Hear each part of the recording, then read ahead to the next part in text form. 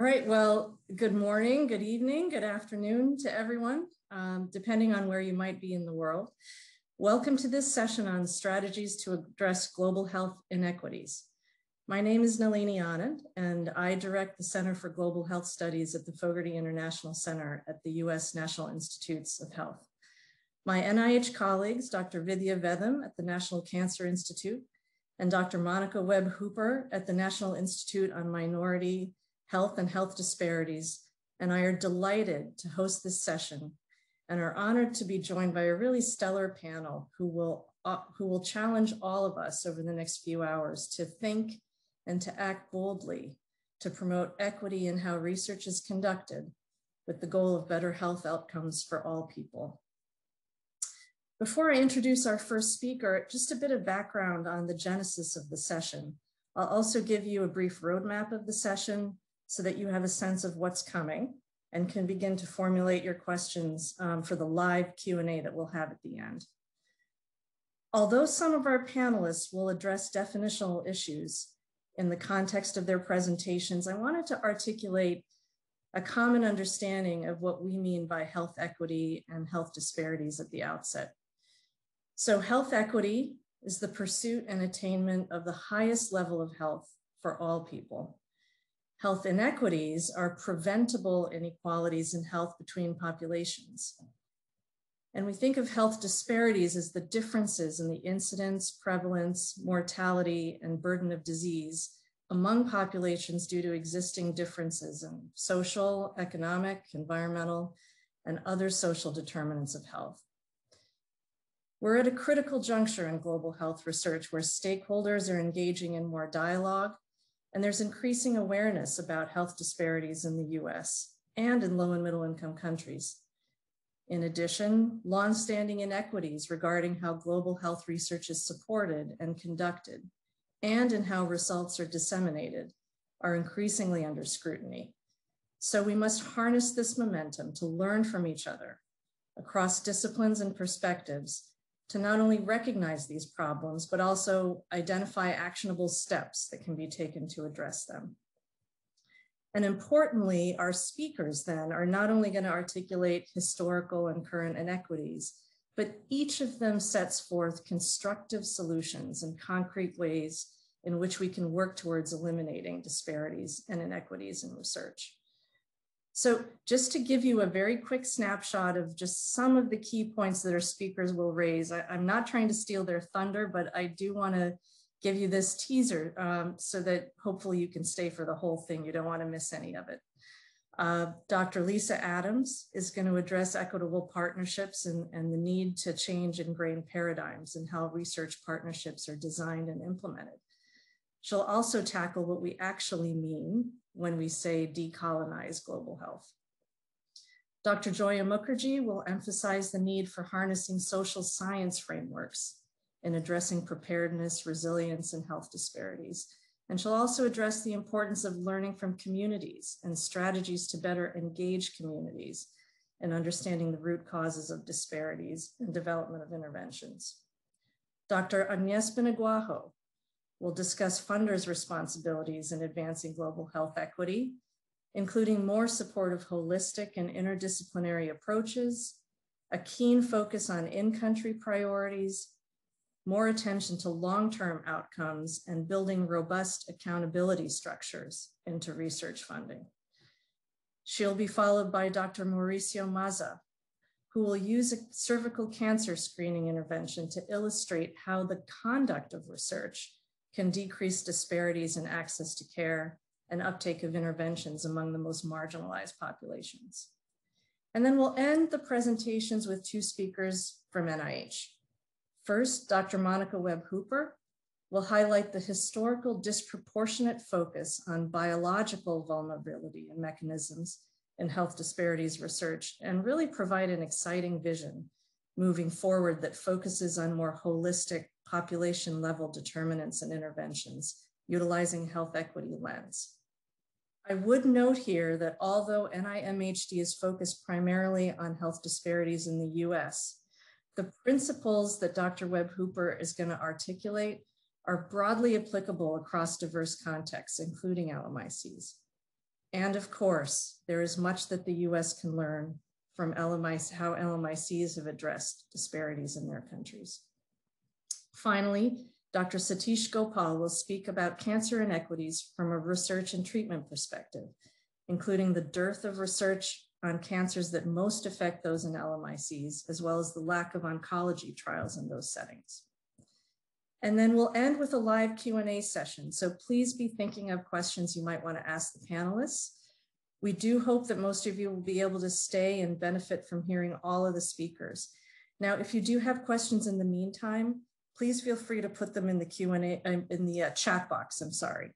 And hopefully the speakers can address some of those questions and comments as we go. So with that, I'd like to introduce our first speaker, Dr. Lisa Adams.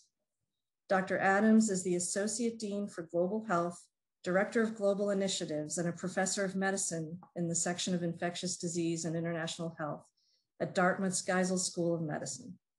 She oversees Dartmouth College's Global Health Initiative at the John Sloan Dickey Center for International Understanding and is the director of the Geisel Center for Global Health Equity. Dr. Adams. Good day. My name is Lisa Adams. I'm the Associate Dean for Global Health and Director of our Center for Health Equity at Dartmouth's Geisel School of Medicine. And I'm going to be presenting on equitable partnerships. Is this what it takes to address global health disparities? And before I begin, I just want to thank the organizers of the satellite session and of CUGH for having me present today.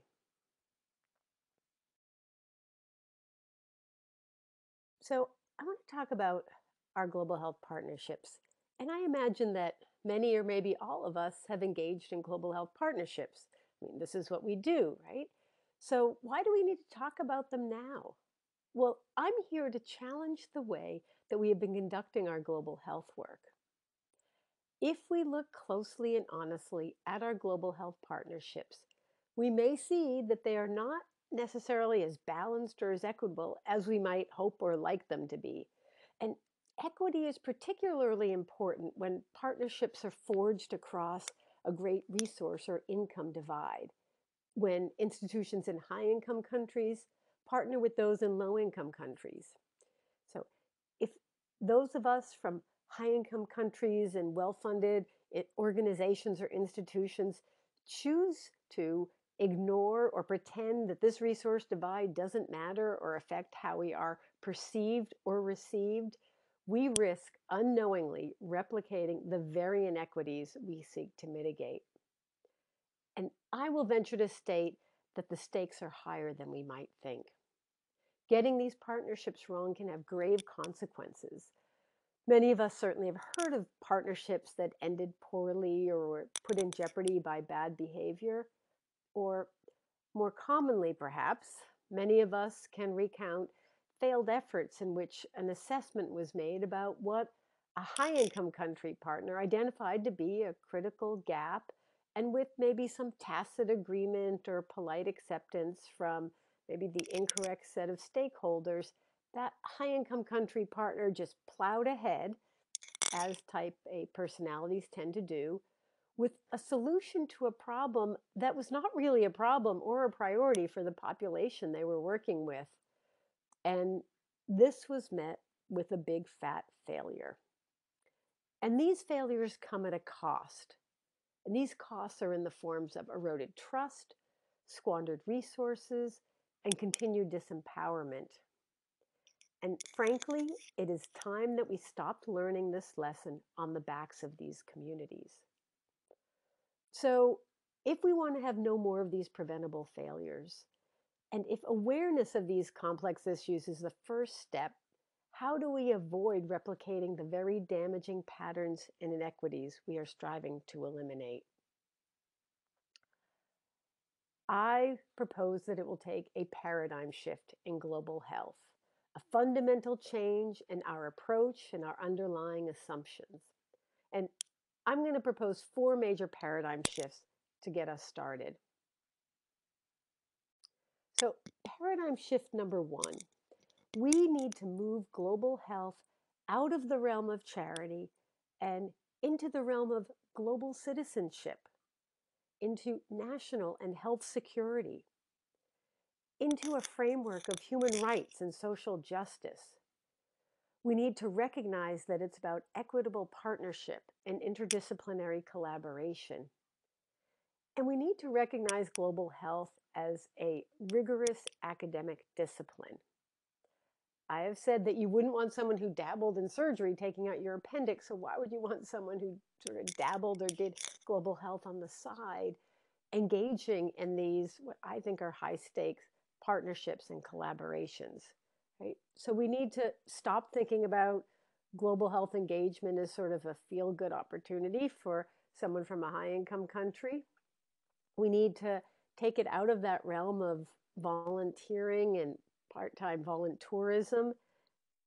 And again, we need to partner with organizations like CUGH to work with our academic peers to make sure that there is the rigor and that global health is considered the academic discipline that it really should be. Paradigm shift number two. We need to dismantle this global versus local divide. This is really an artificial distinction. As one of my smart colleagues, actually at a CUGH conference some years ago now, once said, our global is always someone else's local. Now, when we talk about training in global health for students from our high income institutions, what we find though many times is that these global settings are actually more appealing. So if I ask a student, would you like to go work with this family pictured here on the left um, in some unnamed low income country? to, to work on their um, health needs or concerns. The students often um, respond with great enthusiasm. Yes, I would love to do that work. And you ask why, and they say, well, I feel like I could, you know, uh, really make a difference there. I feel like I would have something to contribute. I feel like I could have real impact. Yet, if I show a picture of a family that might be living domestically in rural Appalachia or um, uh, in, in rural New Hampshire, maybe only an hour or two away from, from where Dartmouth is, and ask a student if they would like to go work to help the health needs of this family, uh, they might be a little more hesitant and they say, Well, I'm not so sure. And you ask why, and they say, Well, that's a lot more complicated scenario. There's um, deeply entrenched issues and challenges, and I, I'm not sure I could be very effective in that setting. And what can you say? What is the difference between their response between working in these two settings? Well, again, I will put forth that I think the difference is about understanding the context. I can assure you that the challenges, the health challenges, the social determinants of health that are affecting the family pictured on the left are just as deeply entrenched and just as complex as those for the family pictured on the right. And yet, what it is is that our students have a deeper un- understanding of the context of one setting. So, again, we really need to make sure that we strive to understand the context, the historical legacies of the places where we work. And that is true whether they are across an ocean or across town. So, paradigm shift number three it's not about pins on the map. And I say this as someone who um, supports and helps direct a number of um, student programs for global engagement. But it's really not about having lots of superficial engagements um, in many different places. I say it's about having really deep and meaningful um, partnerships. I say it's about bringing our learners to the world and the world to our learners. And very importantly, it's about practicing reciprocity.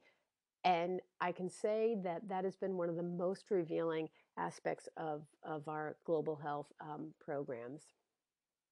So, if we are going to send a medical student from Dartmouth, Nareth Carlisle, to for clinical training to participate in a clinical elective on the wards of Muhimbili National Hospital in Dar es Salaam, Tanzania.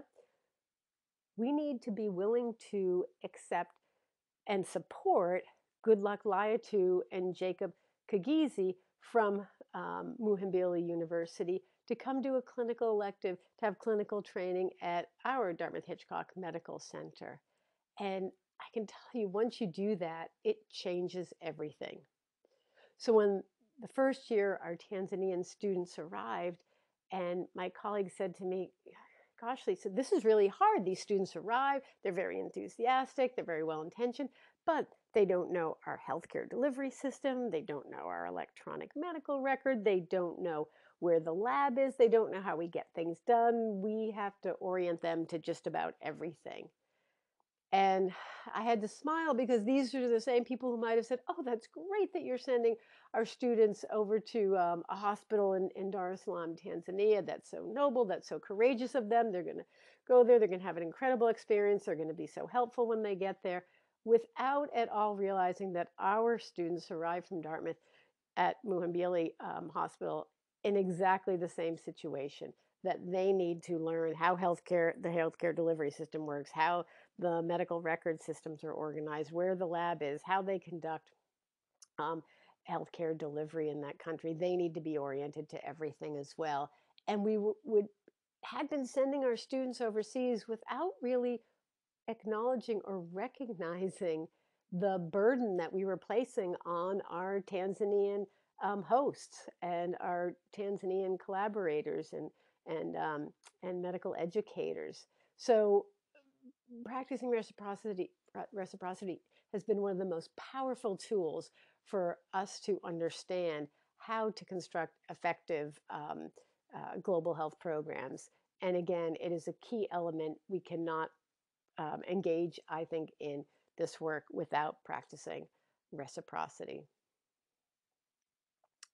So, paradigm shift number four is I sort of have to remind us uh, whether we're coming from a high income country, from a, um, a well funded um, domestic NGO, um, wherever we're coming from, if we're coming um, with, uh, with resources, it's not about us. It's about placing the partnership at the center of the work that we do. It's about following our partner's lead and it's about making sure that their priorities set the agenda always. And I'm tr- very careful even in the language that I use here because when I presented on this topic before, I in the past I would say, well, we let our partners lead. We let their priorities set the agenda. But you hear the difference there, right? And I have to ask, who are we to let? This is not about one partner letting the other do something. This is uh, really about following our partner's lead, about having their priorities set the agenda. So, again, just very subtle changes um, in our language, though, so important if we're going to really be um, uh, eh, talking the talk and walking the walk of making sure that there's equity in our partnerships. So I would say that really what this all comes down to is an overall paradigm shift in global health engagement that we're talking about, and that is one of decolonizing global health. Right? We are need to be constantly asking who's driving the activities that we're engaged in. If we are going to decolonize global health, we really need to be um, changing the way that we act, changing the the words that we use. We need to be um, changing up everything that we do in this work, and really, as I said, um, putting our partnerships under that that under the microscope and giving them that critical uh, review and honest appraisal. So I am reminded of uh, my colleague, Dr. David Bangsberg, whom I met when he was leading global health programs at, um, at Harvard's Mass General Hospital, because his, he told me a story about how students would come to him and say how they wanted to go work with him, they wanted to um, engage in his programs which, uh, around HIV care and prevention in, in Uganda. And he would ask them again, why do you want to go? What do you want to do? When you get there, and they would say, oh, I want to go. I want to have an impact. I want to, I want to um, make a difference. I want to engage in this research. I want to contribute. And he would pause and he would say, Tell you what, we'll make plans for you to engage in this project and find a way for, for you to, um, to uh, spend a month or two or three in Uganda with our partners there if you promise me one thing that you will try to do no good. And they would sort of look at him and say, What do you mean, do no good? and he would say, That is so important and explained it this way. As soon as I told them that they were that they really needed to try not to accomplish anything when they were there, it it completely had them reset how they approached this experience. If they thought they had to go in there and accomplish something and do some good, they would go in there like a bull in a china shop, elbowing their way to the front of the line with their own agendas, making sure that they accomplished what they set out to accomplish uh, before they arrived. And he said, I really wanted them to reset and shift into learner mode, shift into listening mode. And that's how he got it by telling them first, do no good, don't try to accomplish anything when you're there. Um, and I thought that was a good a good lesson and a, and a um, provocative way of of um, getting our our students and learners to to rethink about how they they um, conduct themselves when they're overseas in, in our global health engagements. So we really need to spend some time thinking: How do we co-design projects? How do we co-problem solve? What does that really even look like? And really, again, be starting from the very beginning to, to rethink how we um, engage in these partnerships. How do we work together across borders, across history, across the power dynamics that exist in our society today? And so, again, just causing that um, reset is so important. We need to be very careful and pay attention to our language, to our behaviors, to the way we, we conduct ourselves, um, the way we behave, and we need to, do, need to do a whole lot more listening than talking. We need to do our research uh, before we, we engage with our partners. We need to understand uh, their current context and we need to understand their historical and particularly colonial legacies of the places where we work um, so important to to uh, being able to bring um, equity to the partnerships that that we engage in.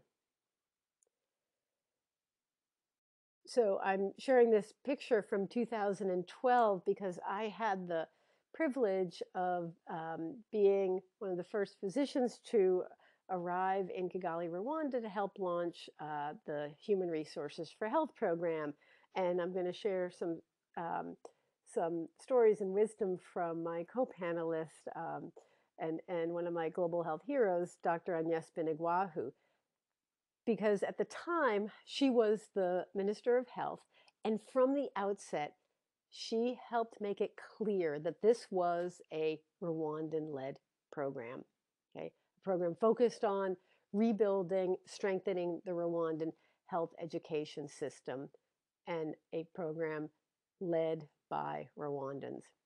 So when we would ask questions like, "Gosh, this is a great, um, you know, teaching hospital. There's there's uh, so much active learning happening.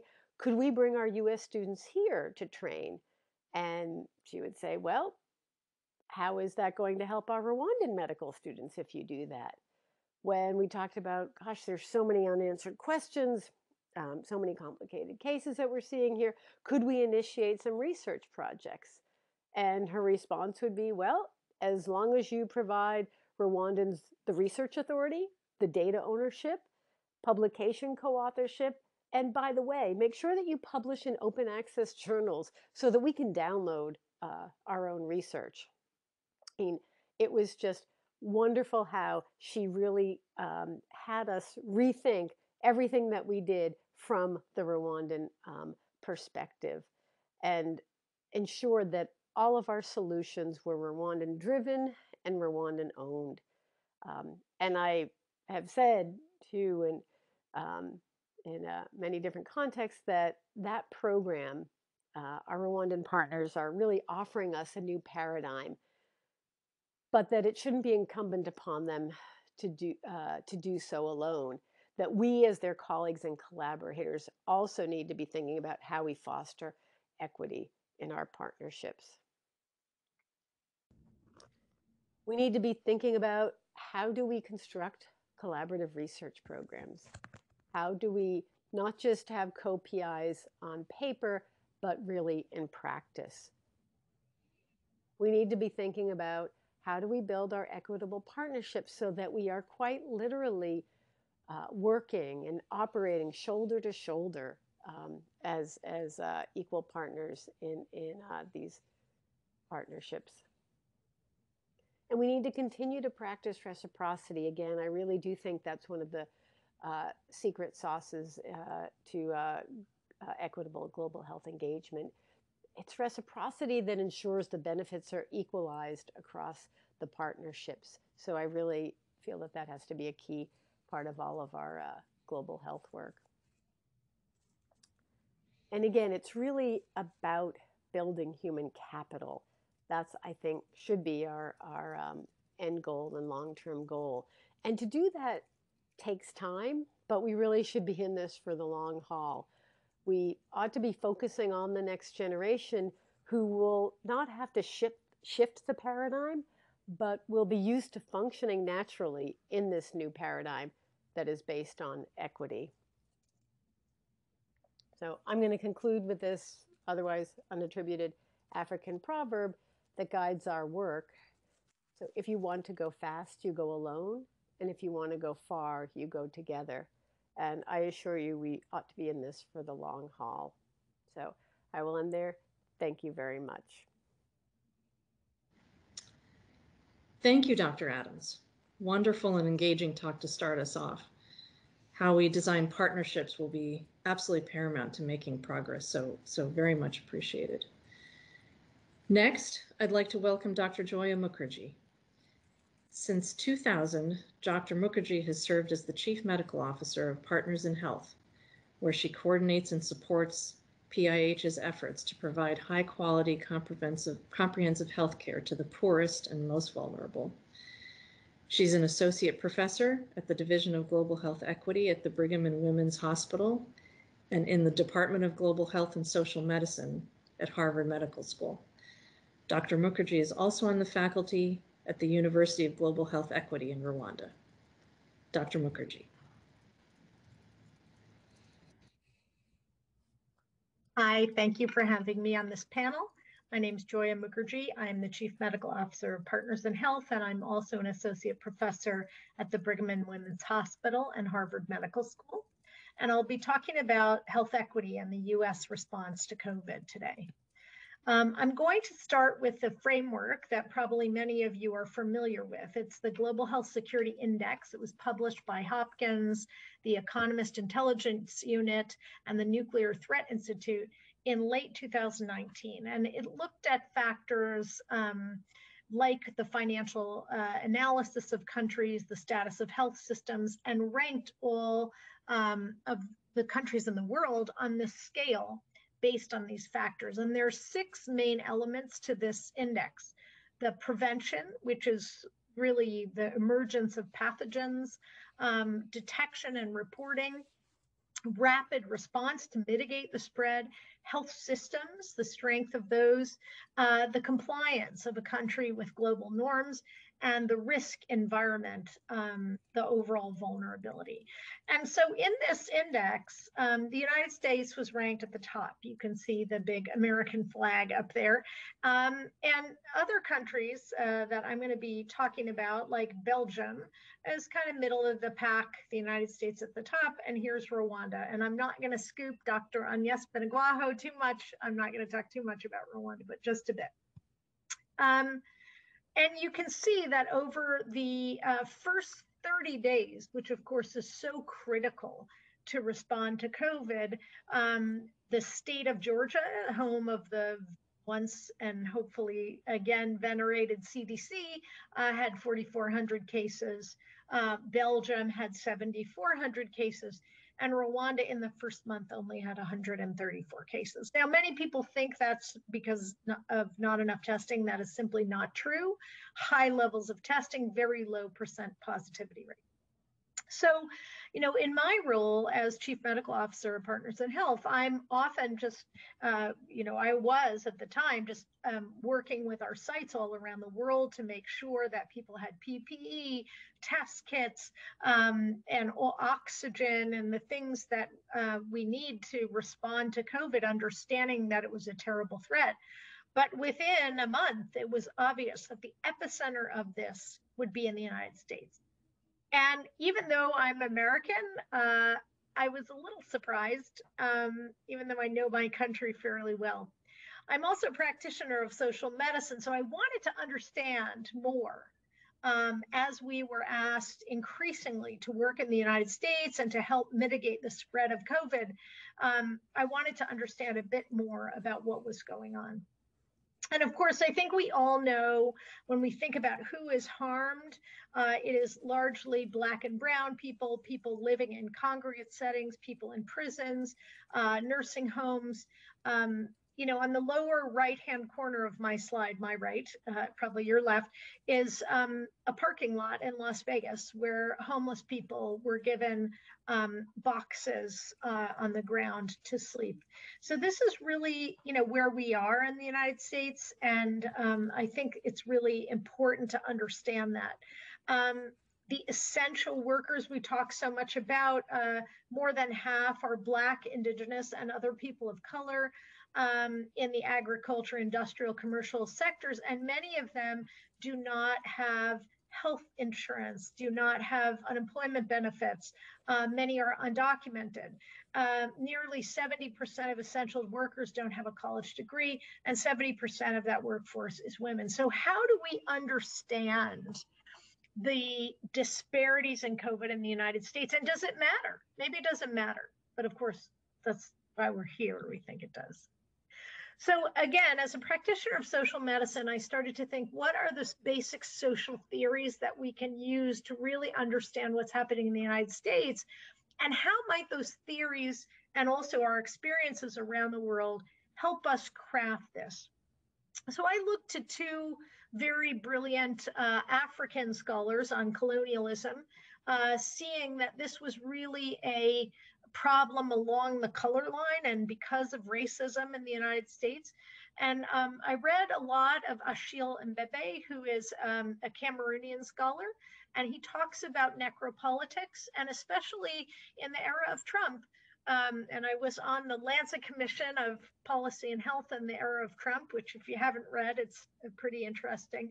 But this necropolitics was very central to Trump's uh, uh, leadership. And so when you have a group of people for whom you actually it's more convenient for you if uh, if they die if they're erased uh, that's what Mbembe calls necropolitics and i think it's very important when we think about what our response will look like the second is the famous Frantz Fanon, post-colonial scholar from Martinique who uh, lived in Algeria. Um, and he talked about this compartmentalized oppression, uh, and that that is really necessary necessary condition for racial domination. And of course, we see that in the United States, which is so terribly segregated. And then I also uh, intersected that social theories with uh, Black feminism, which really is about um, frameworks of mutuality and care uh, from the great Bill, Bell Hooks and the whole notion of intersectionality uh, from Kimberlé Crenshaw, Patricia Hill Collins. And then lastly, the idea that the opposition, uh, the marginal, the people who are the most affected ought to be central to the conversation. And you know, for us at Partners in Health, this is really a lot of how we do our work, um, is centering the knowledge of the affected. Uh, for more than 30 years, we have led uh, with centering the voice of patients as community health workers. Fully 11,000 of our 17,000 uh, person staff around the world are poor people. um, are community health workers, and 99% of them are from the communities uh, that they serve. So I was an engineer once upon a time, and I think of social medicine like an engineering diagram where you have forces that uh, have a magnitude and a strength, and they also have a direction. And that our job in social medicine is to push against those forces because we know that the social determinants of health, and in this case, we're talking about racism, patriarchy, um, and uh, the things that really put people at risk. Um, that that is how you practice social medicine. So if you think of COVID in the middle of this teeter totter seesaw, you think of the things that the social forces that can give us control and you think of the social forces that plunge us into chaos. And i think if you think of the biology in fact it's not that different obviously in one person from another. There's some host issues of course but the biology of COVID is the same in Rwanda as it is in Belgium, right? The biology of COVID, with you know the exception of the current variants, uh, is the same everywhere. But what's different are the social and political forces, and that's what I'm going to talk about a little bit. So, how do you counter those forces? Um, to to us at Partners in Health, it's building mutuality and trust uh, through working with community, and then leadership that is based on this mutuality and trust and decolonizing knowledge. Um, and I'm going to talk about that as well. We call all of those things uh, in a bundle. We call them accompaniment. Um, so I'll just talk about things we've learned in other pandemics. Uh, working with community health workers as I have my whole life, um, they have been just exceptional, knowledgeable, important people in our movement to treat HIV. Um, people living with AIDS themselves have been central to giving others their medicine, their encouragement, food, water, and that longitudinal support, uh, which one could describe it solidarity, but it really is a force of nature that pushes up against the chaos and privation of people's lives. And we don't have anything like that in the United States. We have in pockets, and we have wonderful community uh, health workers in the United States, but there's few and far between. Um, one of my favorite uh, mentors in medical school, a pediatrician named Paul, Paul he told me he cried um, when they told him he couldn't do home visits anymore because he couldn't imagine he's a much older person and he couldn't imagine being a pediatrician without seeing where children live. And I think we've divorced ourselves from this social reality um, and so overly favored the biomedical model. This is what I've learned. Um, you know, I, I was trained at the Mass General, and it's all about what you know and what you have in your back pocket. And I think so many of us in global health start to say, okay, I'm the expert and I'm going to teach, um, you know, a, a, community health worker about malnutrition. But what I've learned from people like Iraj Charles uh, on the left, uh, the community health worker who's giving out the pills, is that I actually am the one that needs to be taught. And I think decolonizing knowledge is as important. Representation is critical, but we also have to decolonize knowledge. And so, one tip I will give you uh, in, in my work and how we work at Partners in Health is through Freirean pedagogy. And so I'll give you an example of that. So if I was going to teach about malnutrition, rather than standing up and having a PowerPoint and having an audience, I would sit down at a table with community health workers, draw a line on a chalkboard or a whiteboard, and, and ask one question. This is a field. How do you feed your family? And what you see then is a huge amount of knowledge and mastery that people share. Well, we prepare the field and plant the seeds. When? When do you do that? Well, before the rain. Do you own your land? Do you not? What do you have? I have chickens. Do you use them for meat? Do you use it for eggs? And you start to learn so much about what people have mastery over. And that's how you decolonize knowledge. And then I say, okay, this is what I'm looking for, you know, to try to help you when kids have, you know, show what a MUAC is and measure the arm and say, okay, you need to help me understand when the crop is coming in, when it's going to be the lean season, if the crop is good or not. And then I can help you doing the screening. And so, in that, what Freire talked about, Paulo Freire, the famous Brazilian educator, is the idea of a shared mastery. And we don't do this enough. and we would learn so much from the people closest uh, to, to uh, the suffering. And so I think, you know, really when we think of the the privilege that we have as physicians, as nurses, um, as, as people who are not suffering deeply, um, really trying to look both at that decolonization framework and also at uh, frameworks of feminism and mutuality. Just to mention that uh, I think necropolitics has so shaped our health sector in the United States. Um, during the period of enslavement, people um, lived 28 years shorter. Um, Post emancipation, there was massive starvation. Jim Crow and continued the life expectancy shortening, mass incarceration, of course. Um, and um, now we know uh, from an article that came out last week that um, the uh, African American men in COVID are suffering from a three year shorter life expectancy. We also see in the United States this concept of space um, that Fanon talked about and how you need to have the segregation. And interestingly, this is a Trump golf course in, in uh, Palm Beach County, California. And uh, right above it on the right hand corner is the jail, the Palm Beach County Jail. So, you know, what, what does this mean to programs? And I think it means a lot. It means a lot to us to think about that. So we were asked by the governor of Massachusetts to stand up um, a statewide contact tracing program and uh, to help the, Depart- the Department of Public Health because they were so overwhelmed because our public sector has been so gutted, as we well know in the United States. And so we always work partners in health in two spheres. One is supporting the government, and the second is really working with the community.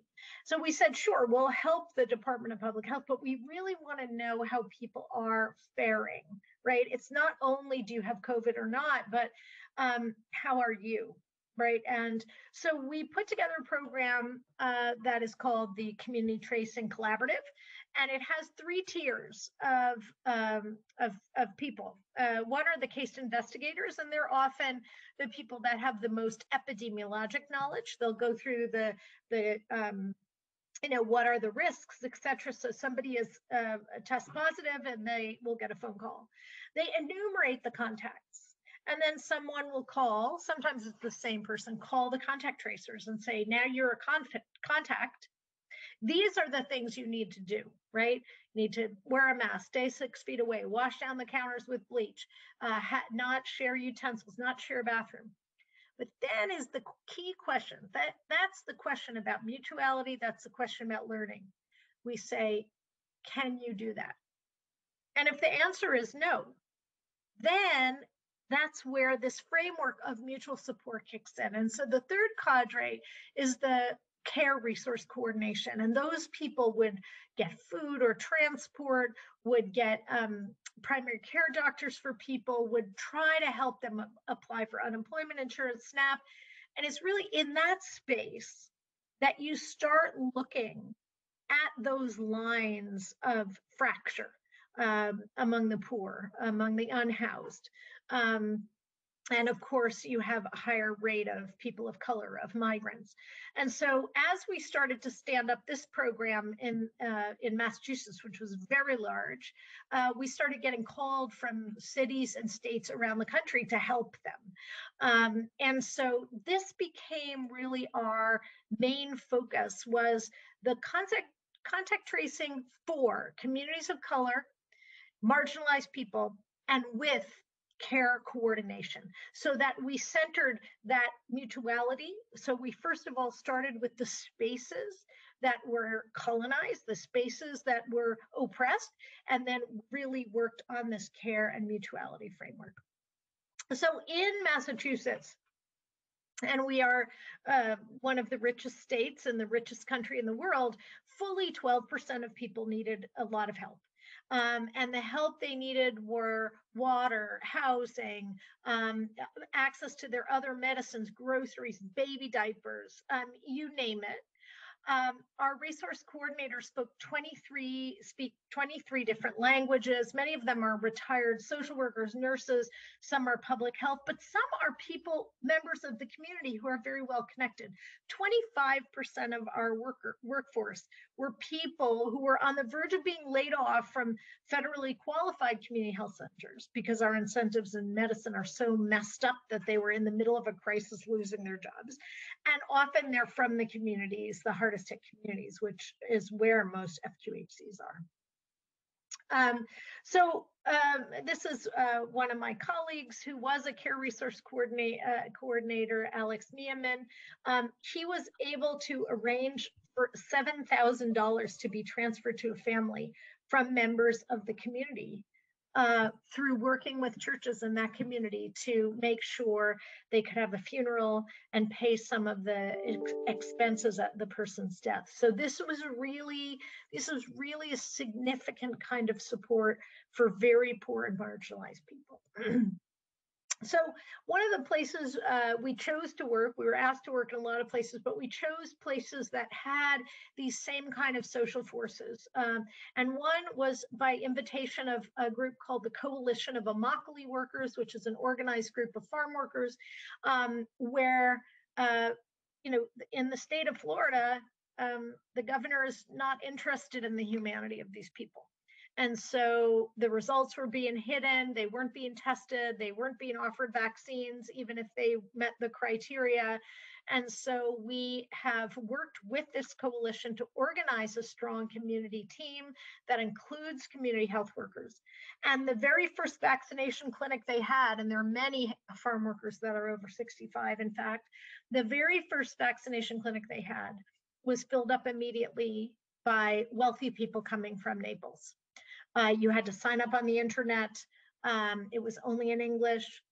And so um, by working with the federally qualified health center, going through and getting the ages of people, and we hired and trained community health workers from Immokalee, Florida, many of whom were farm workers themselves. Um, we were able to turn out huge numbers of farm workers who were over 65 who could be vaccinated in the next clinic. But it took a ton of community and grassroots organization to do that. The other thing, uh, because in the farm worker communities, you have such overcrowding, people live in trailers of 10 to 15 people in a three bedroom trailer. Um, we, we had to do a lot to get people support if they were quarantined or isolating, uh, including food uh, and working with a local church, we were able to do that. Um, you know, one of the work uh, areas we're super proud of the work is in Newark, New Jersey, uh, where Mayor Ras Baraka, who is a champion for the people of Newark, um, placed a moratorium on evictions. And then working with the Department of Public Health, Dr. Mark Wade, they were able to rent two hotels to put every single homeless person in a hotel for the duration of the pandemic. And so, um, it's amazing in a city that had the highest rate of homelessness in all of New Jersey. There are no, there's nobody living on the street right now, and all of these people have gotten flu shots, and they will be among the first to be vaccinated.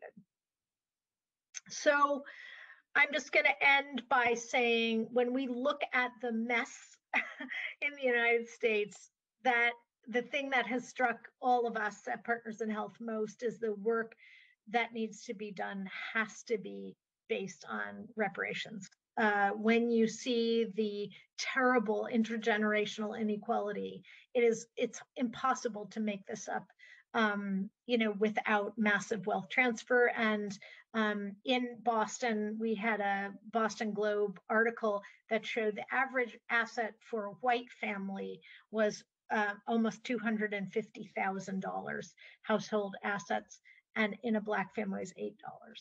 So we cannot look at this in any other way than a social medicine framework. And um, while I am not a uh, scientist, I am a social scientist, and I and I hope that going forward we can use novel frameworks and social science frameworks to really evaluate uh, these um, epidemics because you know pandemic preparedness as an objective thing is obviously wrong Because if you just look at the inputs to the United States system, we looked the best in the world. And without inherent, a- analyzing the inherent racism and political economy of this space, we can't be prepared. And so we think part of the one of the most important parts of preparedness in the United States is reparations and dealing with um, you know restitution and improvement of the lives of the poor in the United States. Thank you very much. Wonderful. Thanks, Dr. Mukherjee. Very thought provoking and really helpful in articulating more holistic social science approaches to address health inequities. Next, we are very honored to have Professor Agnes Binagwaho, the Vice Chancellor and co-founder of the University of Global Health Equity in Rwanda, an initiative of Partners in Health. I must say, previously, Dr. Binagwaho served the Rwandan health sector in high-level government positions for many years, first as the Executive Secretary of Rwanda's National AIDS Control Commission, then as permanent secretary of the Minister of Health, and lastly, as Minister of Health. We're very lucky to have her today. Dr. Binagwaho, please. Hello, everyone. Thank you for having me on a panel that is addressing this important topic of equity.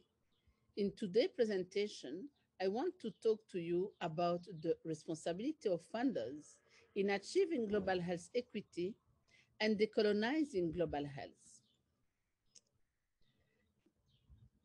My main objective is to examine the contribution of funders in global health for developing countries and the impact they have on decolonization and on colonization of global health, we will explore how and why these funders can fulfill their responsibilities of ensuring their actions are strictly guided by principle of equity and discuss how their support can be used to maximize the sustainable development of the capacity and the dignity of researchers, clinicians, program managers, and other workers in global health in the global south, while contributing to inclusion and wellness of the vulnerable. Next slide. First, let me look with you at the flow of money. The, expecta- the expectation is always that the North is supporting the South. However, the amount of money that is going out of the South in support of the North is often, often underestimated, especially in Africa. The continent loses 50 million to 100 million every year as there, there is more money going out than coming in. We have to acknowledge this exploitation and challenge the North South paradigm. We know that the West is interfering in political, social, and family contexts for their economic interest. As shown by the amount of money flowing out of the South to the North in general, this is due to the global structural violence that is still enforced today by international institutions based on racist theory that are built on toxic pseudoscientific lie to maintain and obtain more power and to continue exploiting and stealing wealth from the global south. Looking especially within the health sector, on average, it costs each African country between $21,000 to $59,000 to train a medical doctor, but Africa loses around 2 billion through brain drain from the health sector annually, the health sector only.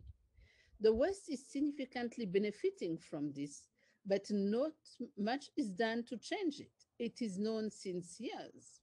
For instance, one out of 10 doctors working in UK are from Africa, save, making UK saving 2.7 billion in training costs. When, when it is a football player, the entity welcoming a fully educated player pays for the transfer, but in health sector, you welcome people educated at high cost out of the taxes of poor people, and nothing is done to reimburse the country who have educated the, the health professionals, and the country lost their investment. First, we need to make sure we are on the same page when it comes to principle of global health equity. Global health as a name, as the name suggests, is characterized by a global approach to the provision of health services, but by using biosocial perspective that comprise both biological and social approach to disease and a holistic approach to prevention, treatment, and care. Global health also require a strict focus on equity by providing services to all, with a focus on the vulnerable. We also need to leverage academia and funding to understand and solve global issues and build resilience based on the implementation of the five S creating system, creating the space, buying and provide the stuff, educate the staff, and support to care delivery for the vulnerable and for people to come and access care. Now we can look especially at global health funding. By 2022, global health spending is projected to increase by 10 trillion. However, this amount does not always mean that the most pressing issues are addressed. Let us look at the Western world global health funding. Their priorities are HIV uh, through Global Fund, maternal and child health to many partners, malaria to Global Fund and um, um, the malaria uh, emergency plan from um, uh, the US and others. However, you can see in the graph below that cardiovascular disease and other non-communicable disease are on top of the list. This mismatch is partially because West considers that non-communicable disease are problem of rich people and refuse to be guided by science and evidence and respond to the requests of countries to help them to support non-communicable diseases. We can also look at funding of regulatory agencies, such as the World Health Organization. Since April 2020, WHO is largely funded by Bill and Melinda Gates Foundation, followed by the German and the US. This structure of funding highlights some key issues with funding and efficacy. First, the earlier decision of the US to withdraw show that WHO's funding is depending of member countries' political agenda, not on advancing health worldwide. Second, giving the influence of large donor on the WHO, this, this exists, uh, this ex show that there is an existence of an unequal distribution of decision-making power. There are also several issues with efficacy. First, a third of this allocated money given to WHO is retained by the headquarters when it is supposed to contributing to countries' health system. Moreover, those highly paid experts at WHO promote double standards. For instance, suggesting that certain drugs are too expensive to be provided in low and mid income countries, even though they can save lives, with the belief that the substandard is good enough in low and income countries. Even when the Western world decide to reverse the flow of money, aid to the South is used as a powerful tool of neocolonization. Funders practice conditionalities and vertical funds that limit countries on what and how they use the money. Recipients are forced to buy goods and services from donors' countries, even if they can find better and cheaper elsewhere. This is a hidden subsidy of the donor-owned institutions.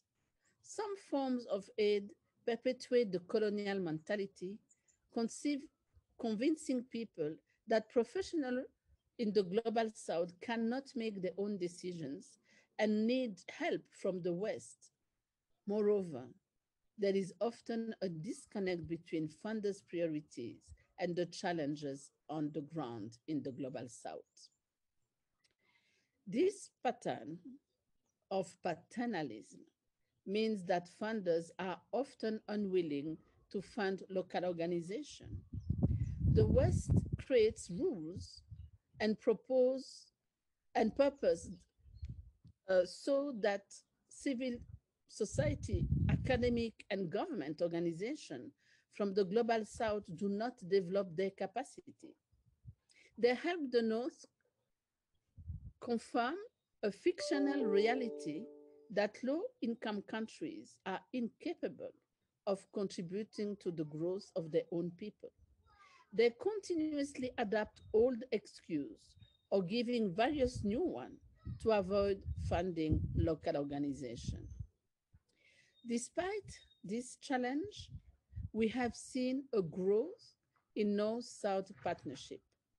These partnerships are aimed at sharing knowledge and expertise and providing opportunities for researchers because of the shortage of skilled professionals in the global south.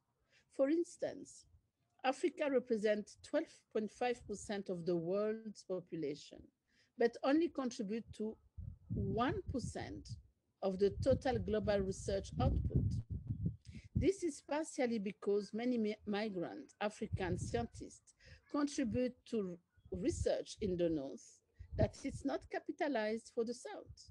Lastly, this partnership allow for a focus on issues that are relevant to global health in the North, in the South, sorry. Despite the need of North-South partnership, various limitations exist.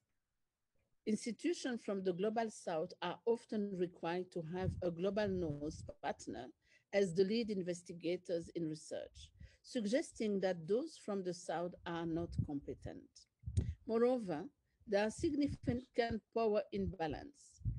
Execution of the project and the area of investigation is often determined by the Global North partner, leading to research that does not address the community's needs. Funding is managed by Global North partners, despite the program being in the Global South. For the Global South, this fuel the colonialist mindset that indiv individuals and organizations in the Global South are incapable of leading their own projects. Despite these challenges, when these partnerships are successful, we see astonishing results.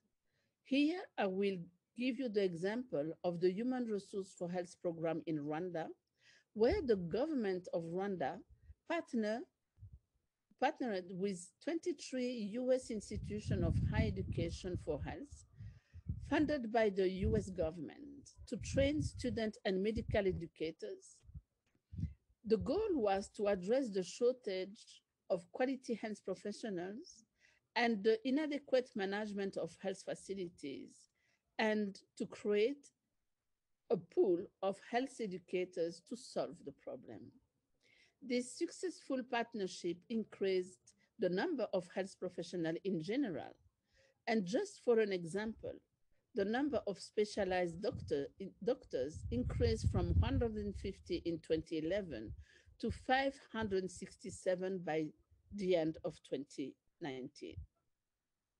One of the reasons that Human Resource for Health was successful was because Rwanda had a strict aid policy that addressed the limitation of North-South partnership.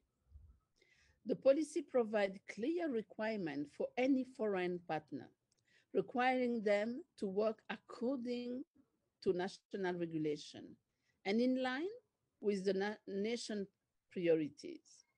This is why the Human Resource for Health program was designed by the government of Rwanda instead of its US partners. When working in partnership with governments and communities, funders need to understand their line of accountability. This will align their priorities and ensure that the goal of global health equity are met. They will understand to who and what are the responsibility of each and every one. Who are the beneficiaries to who they will turn for support for quality to ensure quality and equitable prevention care treatment service for all. Equity and accountability, not only for local organization, for the donor as well, and for the beneficiary as well. Funders also need to fund equity-focused projects. And this means focusing on the vulnerable because including the vulnerable foster economic development. Second, evidence has shown that when you invest in health for the vulnerable, there is a significant return in investment. For example, for every dollar invested in health, there is an estimate fourfold economic return. Moreover, for every $1 invested in a high quality early child program, childhood program, there is four to nine US dollar return, meaning that investment in vulnerable populations such as children provide a lot of return. It is important to acknowledge the role of key players and attribute their responsibility and success accordingly. Governments are legally responsible to protect the human rights to health through infrastructure and capacity building, and as well as system strengthening. However, they do not work alone. Local NGOs and faith-based organizations should be include, included in decision making to improve the health of communities they serve. The donors contribute to the national health agenda through funding and implementation support. They should favor the use of national channels and rules to, at the same time, strengthening the health sector and strengthening the national challenge, uh, channels for economic management. Where they are the most needed, they should also go there. Often, they like to go in specific district, not where the needed is the bigger. The private sector needs to work alongside the public sector to provide health services. Through private-public partnership, the private sector plays a key role in filing, in, in filing the gap in health service provision. We need to understand the role of all stakeholders and stop the mentality of always attributing success to Western savior. A lot is due to the country members themselves. In order to ensure sustainability in funding, there must be collaboration. Funders need to integrate activities into a country national plan. Work on area identified by national government in partnership with their communities and trust them to do what is best for them. Donors and implementing partners in the country must work together to avoid loss of opportunities and ensure that programs do not overlap. Second, we must pay attention to how the funding works. Save life now, yes, always, while strengthening the health sector, yes, always. This means adopting an horizontal approach and also funding local organizations because these remain in the country during health crisis and are more familiar with local settings. COVID has shown us that. At alert, many NGOs has run, have run away or has their people to run away. For 60 years, the model currently used by many has been proven multiple times that it's a failure and that during health crisis, most international organizations always chose to leave. But this model is continued. If we want system to function with equity at the front front, we need to fund global health education that reinforce the ideals and equity and teach students to recognize and address vulnerabilities. We need to teach inclusiveness with a focus on strategies that benefit the most vulnerable. We also need to provide accessibility to quality education by addressing financial, geographic, and social and cultural barriers. We also need to build research capacity to ensure improvement in implementation of evidence-based intervention for the vulnerable according to the local context. And we, and we need to educate leaders all the teaching that it's need for that need to be focused on promoting leadership with a mission and a vision of equity. To achieve sustainable health equity, we must invest in human capital by funding proximate and accessible global health education in the global south. A majority currently, a majority of global health education courses are located in the Western world. And their financial model makes them unaffordable for people from the South, where the needed are the most. This has been evidenced by a study published in, uh, by BMJ. 88% of global health master program are located in high income countries and their tuition costs make them inaccessible for those in low income countries. At the University of Global Health Equity, with its beautiful campus located in rural northern Rwanda, as you can see in the first picture here, we are combating inequities through reimagining global health education. We teach and train the next generation of global health leaders to respond to the future health threat without leaving anyone behind, nationally and globally, with a focus on vulnerable, applying the principle of global health we have discussed in the beginning, and with purposeful preparation based on evidence-based intervention. And we are proud to say that what we teach, we have success to show to our student life. We never closed during COVID-19 pandemic with no cause or enrollment of students facing delay. And keeping a campus COVID free. I want to recall that the first case of COVID was in March 2020. In the second picture, you can see our students and staff participating in community services to help in agriculture and also building houses.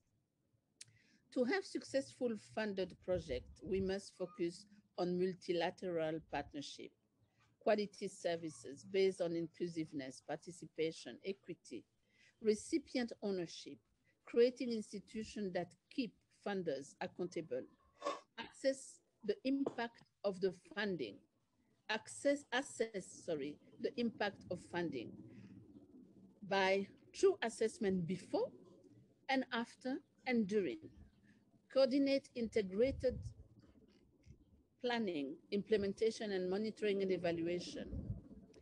Embed the funding in economic development and poverty reduction plan of the countries.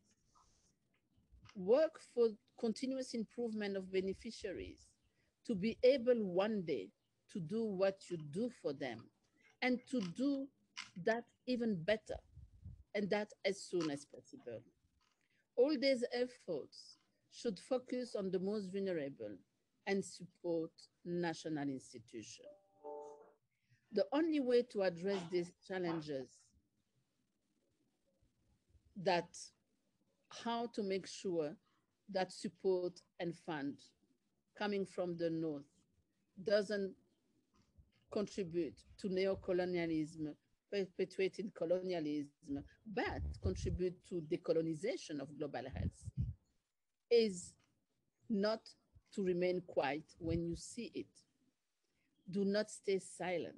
Instead, speak up against exploitative funders or funders who have goodwill, but by negligence are simply perpetuating the power dynamic South-North relation and stop the cycle of promoting the growth of the South and in place are promoting Western supremacy. When you request funding, apply for a grant, do not assume you know all. Answers are found in community. Seek guidance and listen to people from the global south with humility and hold funders accountable to apply the principle of global health when they give funds to make sure that they promote development and wellness of the vulnerable, that they promote respect, value, the vulnerable as well as, as well as the knowledge and skill transfer should are in the center of the fund and the support they give. So, of all your funding, as well as all funding you request and decision you take, follow those principles. And finally, always refuse double standards. This is based on racism. This is based on the core of what colonialism is subject of addressing funders' responsibility to achieve global health equity is relevant today more than ever. As you can see from this graph, less than 1% of global development assistance for health distributed in low and mid income countries during COVID pandemic. Only 1% of it were used for preparedness and response to the pandemic. This is $374 million out of $41 billion.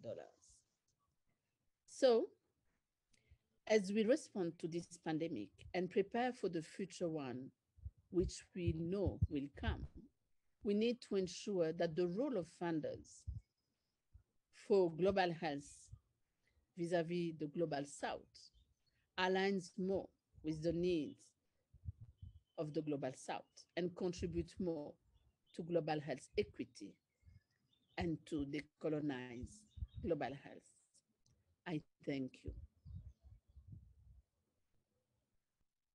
Thank you so much, Dr. Binagwaho, for your unique perspective and really bold vision for what must be done to make meaningful change. Now we have Dr. Mauricio Maza, Executive Director of Basic Health International, Dr. Maza's focus is cervical cancer prevention in low resource settings, specifically with the use of novel technologies and treatment paradigms. Dr. Maza has been an advisor and co-investigator on several NIH-funded research projects, including in El Salvador, Peru, Colombia, and China. Over to you, Dr. Maza. Uh, good morning, everyone. It's a real pleasure for me to be here with uh, so many distinguished uh, colleagues in, in this panel. I'm very honored and humbled to be part of it. I want to thank the Center for Global Health Studies, Fogarty International, the NIH, the Consortium of Universities for Global Health uh, for allowing us to be part of, of, of this panel and, and showcasing the importance of addressing global health inequities. Um, so I'm going to talk a little bit about how cervical cancer research is facilitating access to care in El Salvador. To begin with, I have to say that there's no, I have no commercial relationship with any corporate entity that produces or sells products related to HPV. Uh, I work for Basic Health International. Um, our vision is to live in a world where no woman dies of cervical cancer, uh, which is a preventable disease. And our mission is to eliminate cervical cancer globally. These are some of the countries that we have consulted, worked on, or shared our experiences. We're constantly trying to learn about programs, and we know that every country is different. And within that concept, we know that the disparities in health are different uh, depending on the countries and the resources and the social determinants of health and populations. So um, I think talking about cervical cancer, starting uh, sharing some slides from colleagues from WHO, uh, gives an example of, of the importance of inequity. Um, and uh, talking a little about the elimination strategy, in May 2018, uh, Dr. Tedros, the WHO Director General, made a call for action to eliminate cervical cancer. In January of 2019, this uh, was supported by over 70 countries. And last year, in November 17 of last year, the strategy to accelerate the elimination of cervical cancer was launched. So basically, what's the objective of this strategy of to eliminate cervical cancer? It has three uh, pillars to get to the threshold for elimination, which is an uh, incidence of less than four cases per 100,000 women. To get there, uh, we want to hit three specific targets for 2030. Um, that is 90% of girls fully vaccinated by the age of 15, 70% of women screened with a high performance test at least uh, by 35 and 45 years of age, and then following up women with cervical cancer disease, whether this is pre-cancer or if this is cancer, uh, we have to ensure that they receive treatment. Um, and this slide really talks about what the reason we're here today, and it's how there's this growing inequities of cervical cancer around the world. There are clear disparities in incidence and mortality worldwide, and we know that the vast majority of women are dying from low and middle income countries. And as a whole, we can see how Africa is affected. And this is due mainly to the high burden of HIV in this, which is another group um, that really needs to be looked at uh, because we know that this is population uh, attributable factor for this disease. So um, understanding the problem and seeing the disparities, um, it, in this following graph, we can see that variability depending on the resources that a country has. Uh, we can have uh, uh, examples of where in North America, uh, the USA is very close to getting to that threshold that we're discussing. And then if we go to Central America, uh, where I'm from, you could see how the age standardized rate starts to increase. And if we go to Africa, we can see that difference. So there's that huge difference, right? And it and it has to do with access to health. And I be I want to be very clear, you know, I think when we talk about disparities, it doesn't matter whether you are in the United States or you're in El Salvador. Uh, you know, the the lives of women are equally uh, for me, they, they, they're equally important. You know, obviously, uh, there are areas in the world that need more of our attention. Um, but I think uh, it's very important that we don't forget that even in high resource places, there's always disparities that need to be addressed.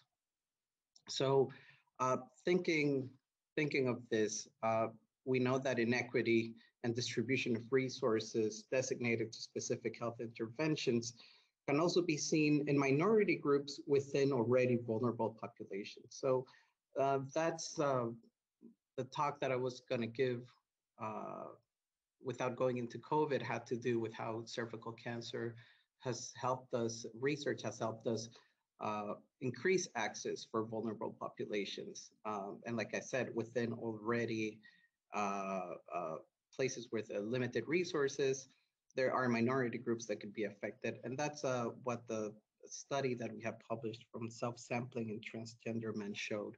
So I'm gonna quickly go through the presentation of, of how I would present a lot of this data, but make highlights on things that are important or that really I think makes a difference on how we must see this as far as uh, inequity uh, in, in healthcare uh, has to be discussed. Um, we know that um, transgender men have uh, limited information on cervical cancer. We know that the pap smears uh, probably have a lot of unsatisfactory screening results. So we decided to do a pilot on transgender men in El Salvador. Its main aim was to see whether self-sampling uh, would be something that they would be willing to do and uh, also evaluate other clinical uh, clinical and lab uh, evaluations based on the use of testosterone therapy. So again, uh, we partner with uh, a group of transgender men that's called Generación Hombres Trans. And we worked with them, developed the communication and, and developed uh, all the materials that would be used uh, for enrollment. So basically, it's a small group of 35 uh, transgender men that we could identify, of which 24 were able to be part of it. Uh, there were different steps from a survey where we would get a lot of their demographic, health and sexual behaviors, physical examination, lab tests, um, and, and, and EKG, densitometry. And after that, uh, we would offer uh, cervical cancer screening with a self-sample of HPV test and whoever was positive to HPV would have a pelvic exam uh, through uh, a colposcope.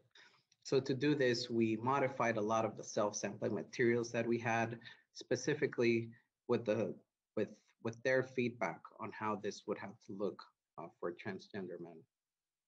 And more than the what the results were, where it was very well accepted, um, uh, we, we did not find any high grade disease, just a low grade disease. But um, understanding what they had to say, how they felt, that it was difficult to decide, but that when they knew that um, uh, when they knew that uh, it would be self-exam, everything was different, that they would recommend to somebody else. Um, this is something that we thought could be used um, in other populations if we scale this this pilot up um, and also try to control how they're self-medicating uh, in a lot of these instances. But the most, I think out of the whole uh, study, what really impacted me at the time, and this is a picture with uh, members of the transgender community and members of, of Basic Health International. Um, and it was the fact that um, I remember we were uh, we were seeing them and, and some of them were, it was clear that they were impacted uh, emotionally. Um, and I felt really bad at the time. I wasn't sure if we were doing something wrong, if if if if uh, this was this was making them feel uncomfortable. And um, somebody was really, it was clear they were crying. So we asked him, um, you know, is everything okay? What can we do for you? And the reason they were crying was because they've never been treated so well. And that really impacted us because for us, it was just standard of care that we were providing. Um, and for them, it, it you know, it, it, made a world of a difference. So um, it's very hard to th think about all the things that happen and how people aren't treated equally when looking for health services that should be essential for everyone. The other group that we we uh, reached out to were women that were reluctant to screening uh, through cervical cancer. This was through the Rising Tide Foundation support. And um, we did this study of self-sampling to evaluate the feasibility of women that on the cervical cancer prevention project that we have with the Ministry of Health in El Salvador uh, that women had not showed up and see whether if we would provide self-sampling, um, it could be easier uh, to have access. So basically, in this case, we hired female study uh, health health workers to visit women at their homes and, and uh, homes and uh, do questions and offer them um, self-sampling with HPV. If they were positive, they would be sent uh, for treatment, and if not, they would be followed up. So this this is the part of, of, of not we're thinking this is vulnerable populations. This is these are women in mainly rural rural rural urban marginal areas. Um, but we encountered ourselves with a problem, and it's the violence in El Salvador. And we ended up uh, randomizing who would go based on violence indicators, which which you know, even as as we look at it and go back at it, it's it's really unfortunate because um, women that lived in areas of very, high violence are are are not receiving the treatment that they should be receiving. Right? We had to do it obviously for safety reasons because we couldn't have our personnel go in there. Uh, it would be very uh, it was completely unsafe to do that but you know it just makes you think that you know how vulnerable within this same populations, we have more vulnerable populations and, and, and, and how all this determinants of violence are affecting how women can get their management. So, you know, out of the, what we got out of this study was that over 90% of women uh, that were reluctant to screening actually got screened through self-sampling. Um, as far as education, we can see, and this is where the social determinants of health, and we see how education plays a role in a lot of, probably a lot of the women that were reluctant to screening. Uh, most of them had none or just elementary school education in this case, and about how they felt. Uh, they were embarrassed about being seen by a male physician. That was one of the reasons why uh, they did not attend during the first screening round. So why would they accept?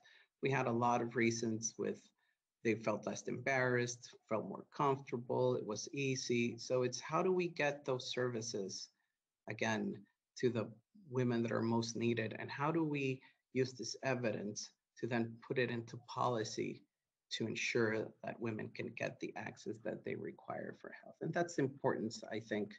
Um, again, you know, because of the high violence we had to modify a lot of what we would we would we would like to do um, and we need to think about how can we improve that but as part of this study with this we can go back to the ministry of health and say you need to use self-sampling in women that are reluctant to screening that are potentially at a very high risk of getting cervical cancer and this is an option to do that. So it's a kind of a uh, uh, that's the, the what we're trying we have to do. We have to look for interventions to close that gap of equity on on, on health care services and change policy uh, to ensure that everyone has the same right now when we leave a little of the research side of it and we go back to where we are with the elimination strategy specifically on the screening and the follow-up of women um, we can go back and I can go back a couple of years and tell you that you know we worked in different areas of El Salvador. You can see here areas where women would get screened, then they would get triage and treated. If they were HPV positive, we have a screen and treat uh, guidelines in the country for primary HPV testing followed by cryotherapy.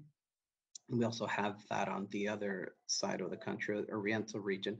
So this was a project, the CAPE project took a lot of years um, to start. First, it was a pilot, and then it started to get implemented scale. And now uh, it's it's been going from one area to the country to other to where we're at this point in uh, starting 2020. Um, and it's basically a scale to a countrywide level. Now, that leads to approximately 80 to 100,000 women that had to be screened between 2019 and 2020. And then, of course, COVID hit, right? So, what does this affect us from an implementation point of view? And um, and we're when we're looking at um, the uh, different studies from our colleagues at IARC, they did a survey on limited uh, income countries, and um, they they asked, you know, how is this affecting your screening? And we can see that a lot of them, uh, whether they had suspended screening, a lot of them had had suspended their screening uh, during the, the, the pandemic. And then the question was, uh, what about the diagnostic services? And and then you can see it's also affected until the point of like status of uh, treatment services for cancer. But the screening side of this is the one that you we can clearly see that it's more affected, right? And that's been seen all over the place, followed by the diagnosis and treatment. So if you can see here, the testing, diagnosis, and treatment, it's a it's a big chunk that's under that 50% um, um, of how it was affected compared to before pre-COVID and post-COVID. So now we have out of those women that needed to be screened by the time COVID hits, over 5,000 women that actually over over 5,000 women that actually need to get treated, um, and that and and that um, need that services, and it's not available at the time. So um, what we get here is uh, support from a foundation to follow up on a lot of those women um, and set up colposcopy clinics uh, that will enable women to access care. And um, that um, if it wasn't for that, they would not be able to do that. And uh, they're able to uh, not only access care, but also uh, enroll in study that's being conducted that can allow women to come to uh, San Salvador, where a lot of the where we have a study running and where treatment can be given to them in case they would have an invasive cancer. So um, this is how we're trying to advance uh, and support all of these problems that are being affected uh, of services that are being affected during the, due to the COVID pandemic. So out of those 5,000 women, we hope that uh, we'll have management within the next six months. And that's that's that's pretty fantastic. I hope that we can accomplish that. And as we move forward, um, I think that we need to be aware that COVID has created a great impact in non-communicable diseases, not only cancer, but all NCDs. We must find ways to reach those that are most in need, and we need to minimize inequities in health right? I mean, that's that's very important. There is a need to reinforce our health systems to ensure that we're able to happen, that that can happen. And you know, in the middle of this pandemic, we need to understand that all efforts add up, and we need to think of policy. Uh, that's the important thing. We have to think about what policy we can do, we can implement to change, to get to those that are in need, and to ensure that uh, we're addressing this global health inequities that we're currently living as we move forward. And I just want to finish up with a picture uh, in El Salvador during the launch of the cervical cancer elimination launch, which highlights the 90, 70, 90 pillars. Um, I want to thank uh, I want to thank everyone for for your attention and for uh, Again, I want to thank uh, the Center for Global Health Studies and the Consortium of University for Global Health and the NIH uh, for inviting me to give this talk. Thank you. Many thanks, Dr. Maza. We're very grateful for your focus on how actually the conduct of research can reduce different disparities related to health. Thank you so much. We now turn to Dr. Monica Webb Hooper. Deputy Director of the National Institute on Minority Health and Health Disparities. Dr. Webb Hooper works closely with the director to oversee all aspects of the Institute and supports the implementation of initiatives to improve minority health, reduce health disparities, and promote health equity. She also co-leads working groups for NIH-wide initiatives to understand and address the disproportionate impacts of COVID-19 among populations with health disparities. Dr. Webb Hooper, please. Thank you very much for that kind introduction And thanks to the fantastic presenters who are contributing to this very important session. So I want to talk about a few areas, um, health disparities, COVID-19, NIH initiatives to address structural racism, and opportunities to support diverse cohorts of scientists. Before I get started, just an FYI. So I'm here to focus primarily on the science of minority health and health disparities in the United States. The National Institute on Minority Health and Health Disparities has a mission to work across NIH and the Department of Health and Human Services more generally to advance the science of health disparities and to move us closer to meaningful progress. While we do have a US domestic agenda, we also collaborate with Fogarty International Center on scientific initiatives that are consistent with our overall mission. As we move into this presentation, I offer a few key definitions for context. The first is population differences or characteristic differences between population groups, such as prevalence, and, and the key is the linkage to genetics or biology or geographic location. Gene environment interactions happen and translate into differences in disease susceptibility. So, a few examples would be sex differences in color blindness, or the greater prevalence of sickle cell anemia among Americans of African descent or Mediterranean heritage as good examples of population differences. Health disparities are distinct from population differences in one key way, and that is that disadvantage is the causative agent. Disadvantage at multiple levels, such as the social, economic, and environmental levels. The populations who experience health disparities are those who have faced systematically greater obstacles to optimal health and can be characterized in a number of ways, including race, ethnicity, socioeconomic status, gender, sexual orientation, and others. Groups that are often discriminated against or excluded. And importantly, and in contrast to population differences, health disparities are differences that should not exist and are modifiable, which means that we have the opportunity for change. Another important term is social determinants of health. They refer to conditions in the environment in which people are born, live, learn, work, play, worship, and age that affect a wide range of health functioning and quality of life outcomes and risks. The word conditions is important to note. It is the conditions of our environment and interactions that affect our physical, mental, emotional, and material statuses. So social determinants of health are not negative per se, although this is commonly how they are discussed in the literature. Some determinants increase the odds of good health, such as clean air, water, great school systems, and appropriate social support. The goal is for everyone to have protective social determinants in their lives consistently. And importantly, the social determinants are mostly place based and are thus modifiable.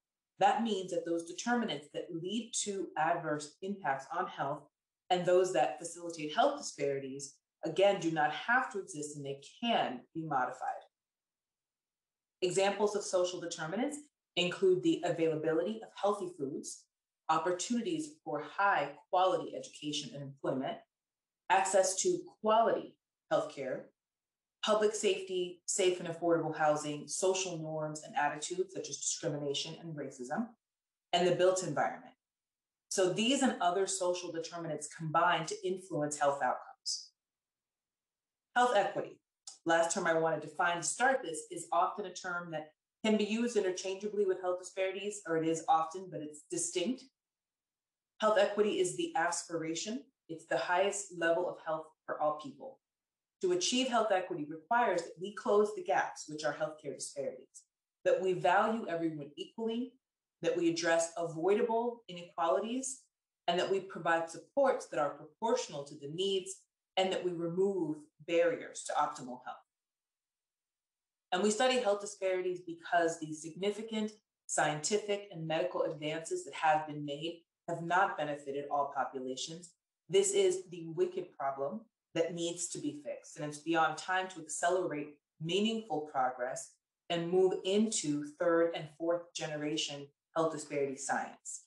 I think of first generation health disparities research as the initial step or understanding what health disparities exist, documenting their prevalence. Second generation health disparities research is the study of contributing factors and mechanisms underlying risks. Third generation health disparities research is developing and testing interventions that reduce and ultimately eliminate them.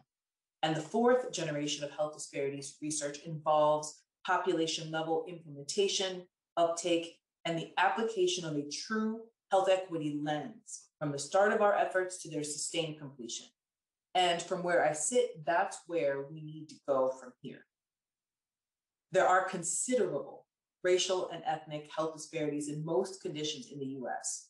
These disparities include shorter life expectancy, higher rates of cardiovascular disease, cancer, diabetes, infant mortality, stroke, cognitive impairment, asthma, sexually transmitted infections, and dental diseases, and also differences in the prevalence and outcomes of mental illness. So, looking more closely at life expectancy, data on overall life expectancy indicate that African American males have the lowest life expectancy and Latino males have the longest.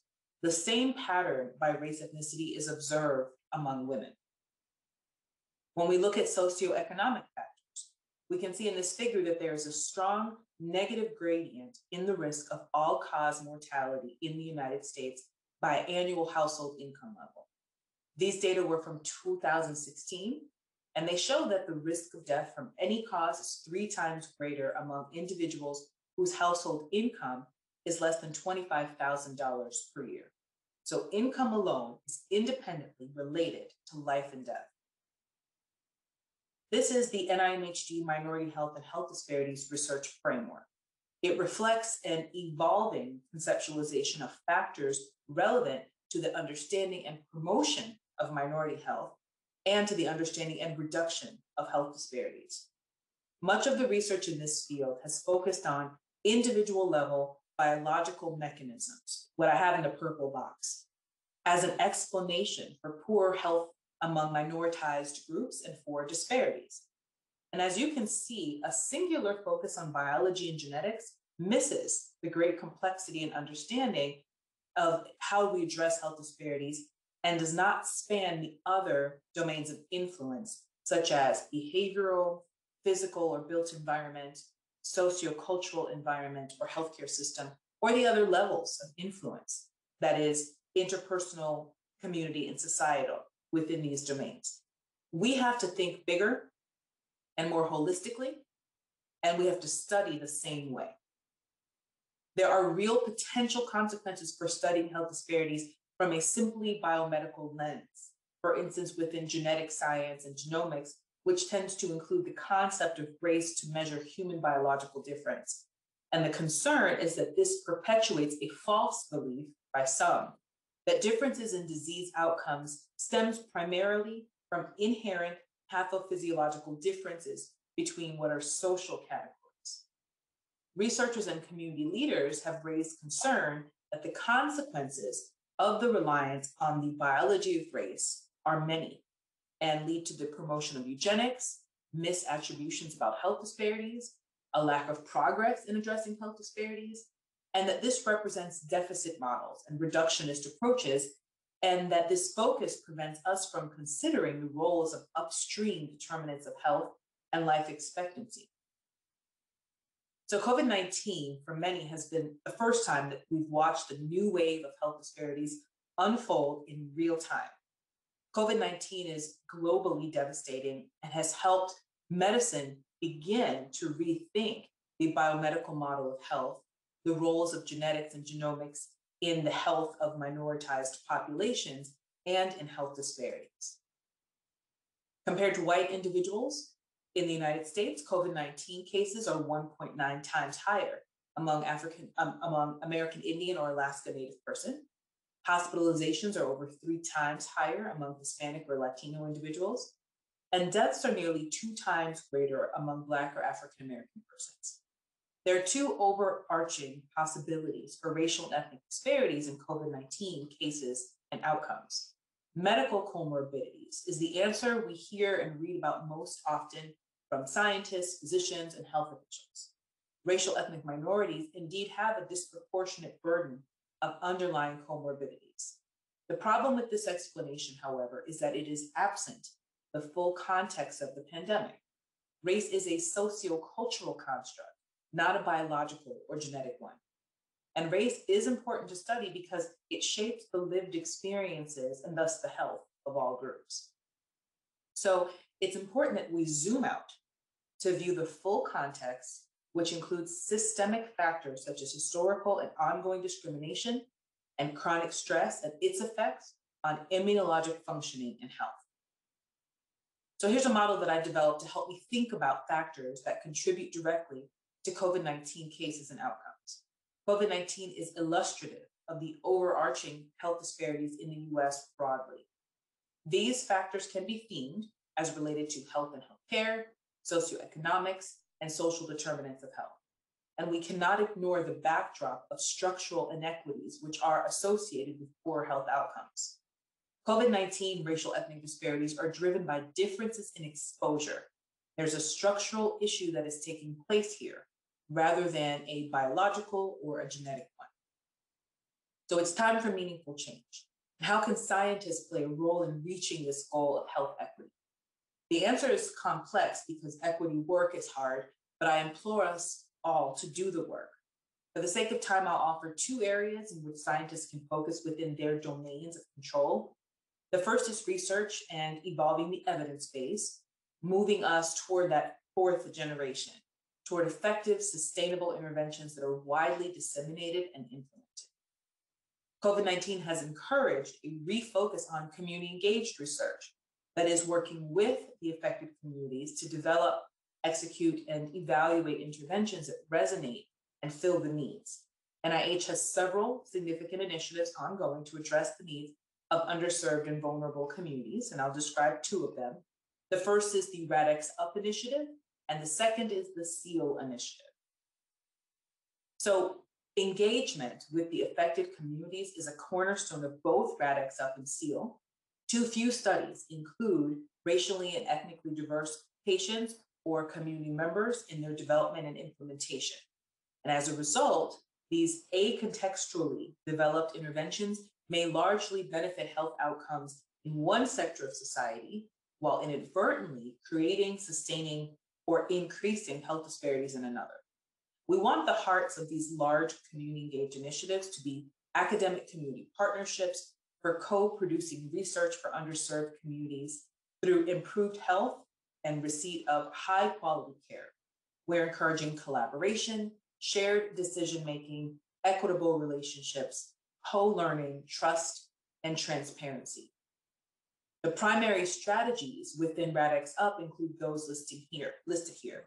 The overall goal is to increase access and uptake related to COVID-19 testing in underserved populations. I wanted to draw your attention to the purple box, which is the focus of this initiative on understanding the range of factors that contribute to COVID-19 disparities and implementing testing interventions to help reduce them. I also say a little bit about the CEAL initiative. The overarching goal of CEAL is to understand factors that contribute to this disproportionate burden. There are four main goals, which are to address COVID 19 misinformation, to engage trusted voices and community engaged research teams, to facilitate the enrollment of underrepresented groups in COVID 19 clinical trials, and to invest within the community through a multi sector alliance committed to the mission of reducing health and other disparities.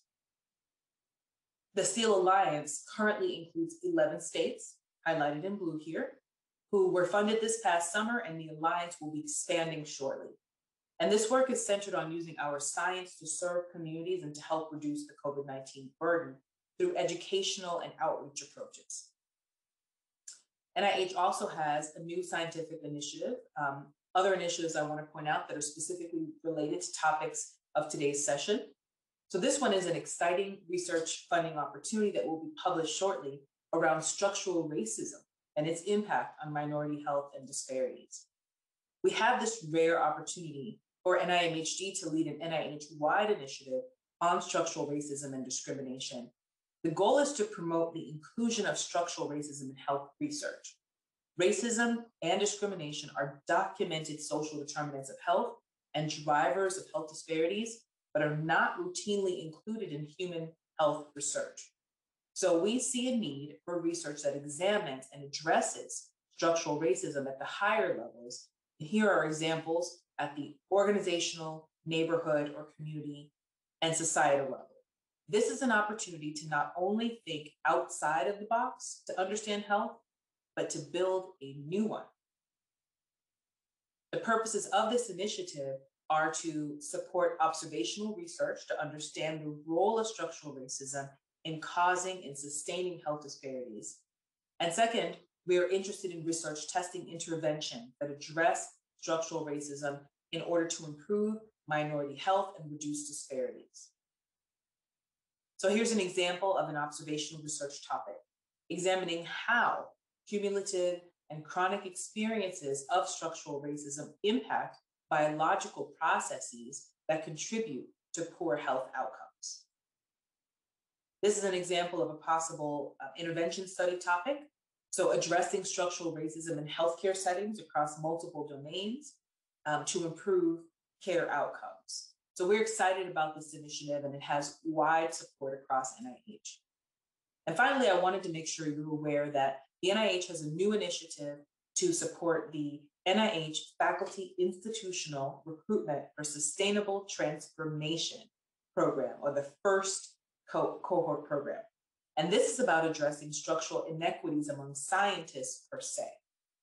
So we know that the representation of racial and ethnic minority scientists, particularly African American or Black, Latino, Native Hawaiian, Pacific Islander, and American Indian, Alaska Native tenure track faculty is just very limited. So NIH is committed to doing what we can to help institutions address this significant concern. So the overall objective of FIRST is to create cultures of inclusive excellence at NIH funded institutions by implementing a set of well integrated, evidence based strategies and evaluating their impact on pre specified metrics of institutional culture, inclusion, and diversity.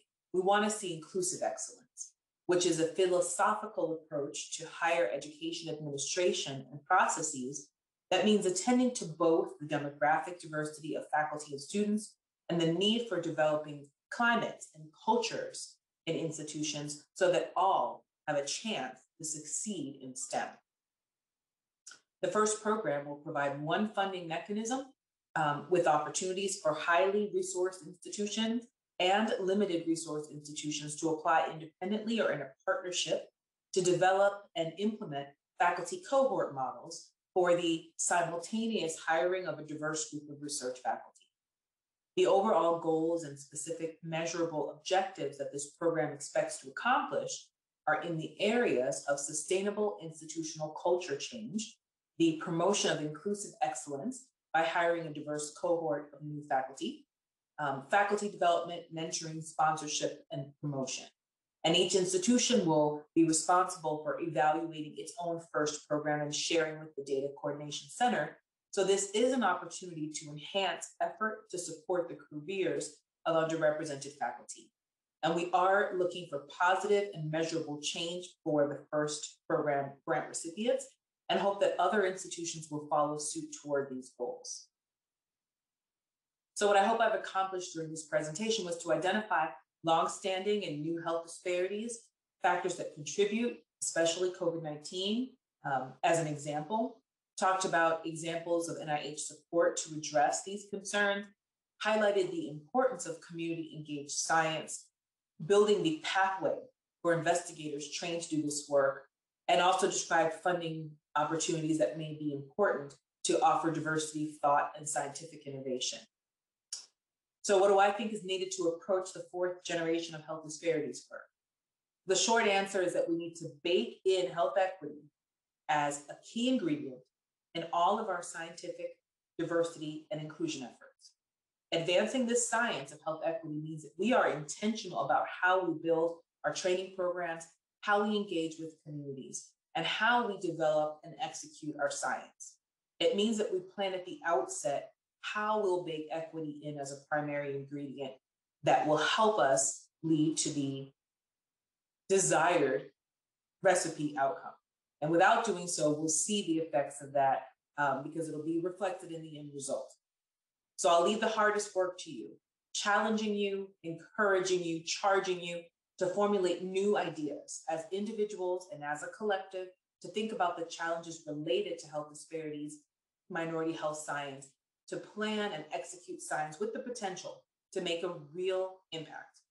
Challenge us also as humans, individuals, scientists, clinicians, leaders, and as people with the power to make things happen within your multiple domains of influence as we think about the path forward.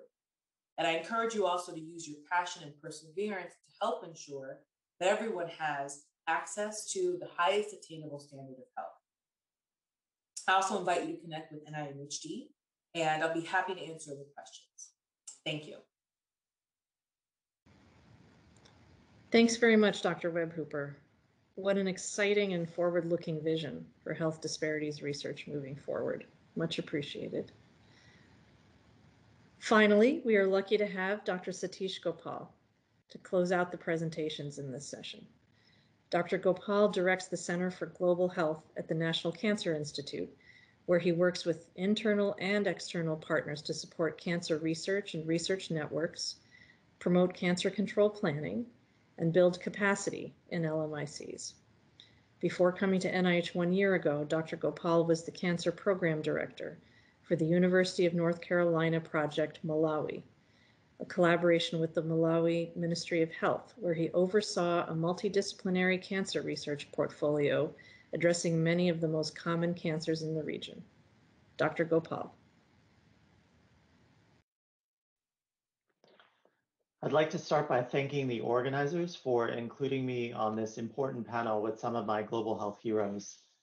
My name is Satish Gopal, and I direct the Center for Global Health at the United States National Cancer Institute. I would like to speak today about global health inequities specifically related to cancer. Before moving to the NCI one year ago, I spent my entire academic career living and working in Malawi, which I still miss on a daily basis and in many respects still consider home. For context, as this will inform some of my remarks, annual health expenditure per capita in Malawi is approximately 35 US dollars. During the period that I was living in Malawi, I was the only medical oncologist working in a country of approximately 18 million people, and I worked closely with two clinical oncologist colleagues, which is a slightly different training model that some of you may be familiar with. Although I believed this to some extent even before I lived in Malawi, my time in Malawi convinced me that cancer is the disease area for which global inequity is greatest. When I would come back to the US for clinical service time, I would attend on patients receiving sophisticated cellular therapies, just as Emily Whitehead had received. Emily, shown at left, may be one of the most famous cancer patients in the world. In 2012, when I was in the process of moving to Malawi with my then five year old daughter, Emily was only a couple of years older and became the first child in the world to receive CAR T cell therapy directed against CD19 for relapsed B cell acute lymphoblastic leukemia. She nearly died from the immune mediated cytokine release syndrome, survived when serendipitously given the anti IL 6 monoclonal antibody tocilizumab, and remains cancer free now eight years later. She has become an incredibly strong advocate for, an example of the direct impact of cancer research on individual patients shown at right, is the first patient I took care of with B-ALL after arriving in Malawi in 2012, who not only did not have access to salvage treatments, but who received first-line treatment for his curable cancer under vastly different circumstances and died several months after diagnosis despite our best attempts to care for him.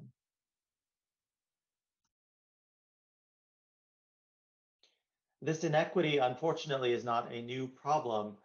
Emily benefited very directly from the scientific discoveries she contributed to, but that has not been as true for Ugandan children with Burkitt lymphoma over the last 50 years. They contributed to the first identification of a new human tumor in the 1950s, which bears a European's name, and over subsequent decades, the discovery of a new human oncogenic virus, which also now bears European names, the discovery of multi-agent chemotherapy, the discovery of the c-Myc oncogene, and the optimization of therapy based on these biologic insights to achieve amazing results across a broad spectrum of children and adults treated in high income countries.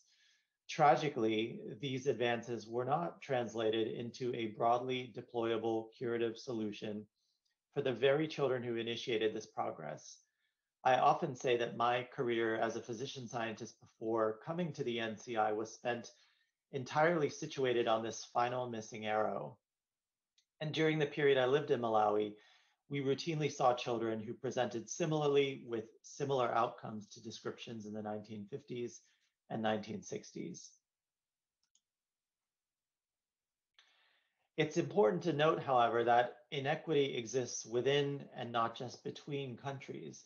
These data from the African Breast Cancer Disparities and Outcomes Study demonstrate marked heterogeneity in three-year survival across diverse African settings with similar racial ethnic patterns as the US, meaning that there appears to be a strong association between how dark your skin color is and how well you do after breast cancer, even within sub-Saharan Africa.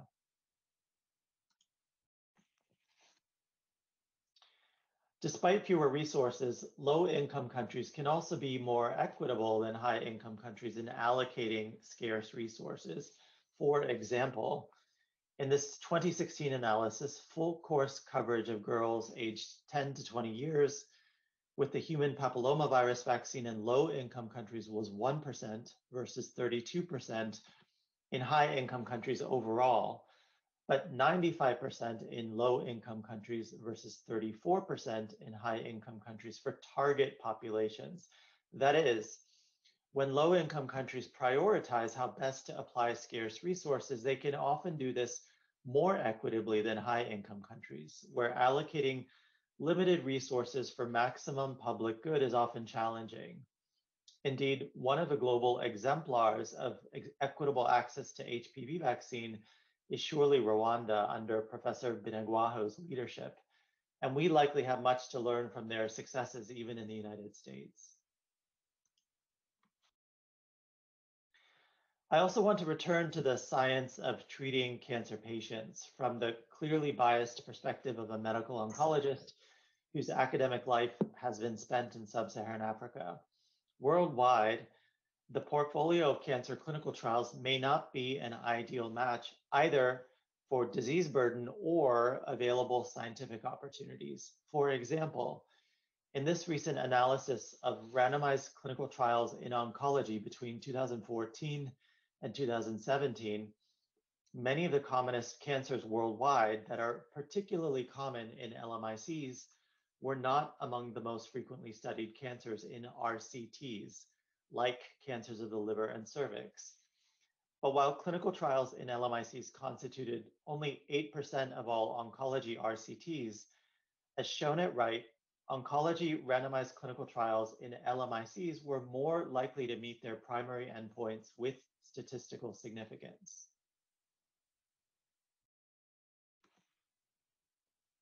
However, even though oncology randomized clinical trials in LMICs appeared to address common cancers worldwide and were more likely to be scientifically informative, these were not well represented in the highest impact journals, which are dominated by oncology randomized clinical trials from high income countries.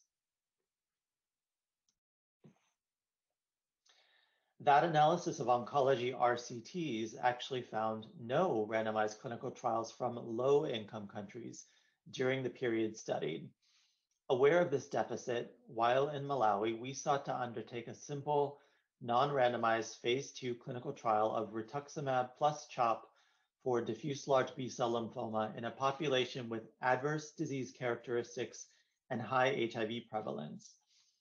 Although rituximab was approved in the US in 1997, we were concerned that there were no prospective demonstrations of safety and efficacy in a population comparable to ours.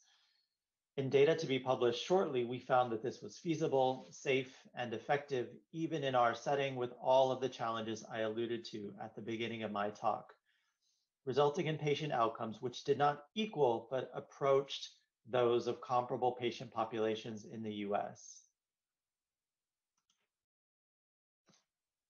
Moreover, in data again to be published shortly, we found CHOP and even R-CHOP likely have cost effectiveness in Malawi that is comparable to many other widely accepted public health interventions for which there has been broad-based international multi-sector investment like antiretroviral therapy for HIV.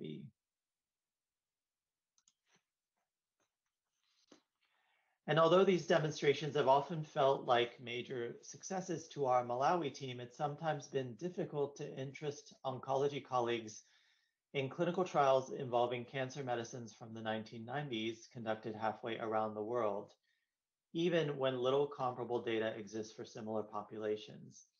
In such times, to avoid getting discouraged, I've often gone back to the early HIV equity literature for consolation for example, this paper describing early HIV treatment efforts in Haiti by Dr. Mukherjee and colleagues, which eloquently captures the philosophical underpinnings of some of our own cancer-related work in Malawi. In this seminal Lancet 2001 paper published when I was still a medical student, they argue that HIV prevention alone is insufficient and expose the unmentioned elephant in the conference rooms of many scientific meetings, which is the obligation to provide treatment to some of the world's most vulnerable patients.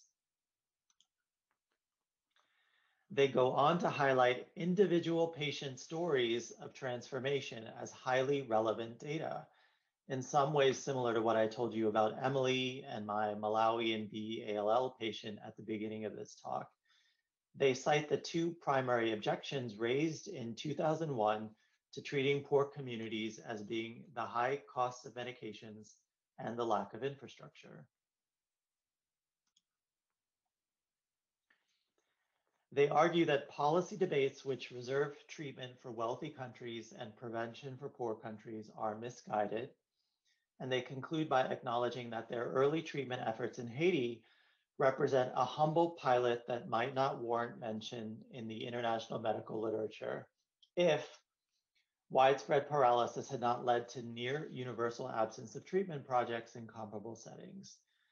But repeated claims of unfeasibility must be proven untrue. As an oncologist who has tried to embrace similar principles in my own clinical and scientific work, reading this paper, which arguably launched the HIV treatment movement, is both deeply inspiring and deja vu all over again. With that, and in anticipation of our panel discussion, I'll pose just a few questions to conclude. First, are we more willing to make tools of infection control available to LMICs than tools of cancer control? And if so, why? Second, is the subjective bar for what constitutes important cancer research unfairly high in LMICs compared with high income countries? Third, are we more interested in performing outrage at global cancer inequity than substantively addressing it? For this third question, parenthetically, I must say I've always felt somewhat embarrassed by how much more attention my idle rants generate in cancer journals than the actual work I've done with colleagues to produce science focused on some of the most vulnerable cancer patients in the world. And finally, how do we address the complex structural factors that cause individuals with certain characteristics, uh, and I've listed several here, to experience greater health inequity no matter the disease nor the country in which they live? Before closing, I also want to briefly mention that 2021 represents the 50th anniversary of the National Cancer Act in the United States and the 10th anniversary of the creation of the Center for Global Health at the National Cancer Institute. We believe these milestones represent opportunities to commemorate tremendous progress made in cancer research and to affirm our commitment to continuing to improve people's lives worldwide. Certainly, I would invite all of you to join us in this reflection and to also join us in this renewal of purpose moving forward. Thank you again for this opportunity. I really look forward to our panel discussion. I just wanted to take a minute and thank all of you for the fantastic, thought provoking, and really um, amazing presentations. I think um, we all can um, have a lot to think about and, and also think of measures we can take proactively. So thank you very much for the wonderful presentations. Um, we have a couple of questions from the audience. I know um, some of the questions were already addressed, but there's one for Dr. Adams um, about how do you make funders agree to this um, reciprocity and, and the concept around partnership, equivalent partnership. Thank you, uh, Vidya, and and thank you too to all my co-panelists. What fantastic presentations, and I, I certainly learned a lot and was inspired. Um, so, again, this paradigm shift has to happen at every level, right? It has to happen with those of us who engage engaged in this work and and those of us who are funding this work.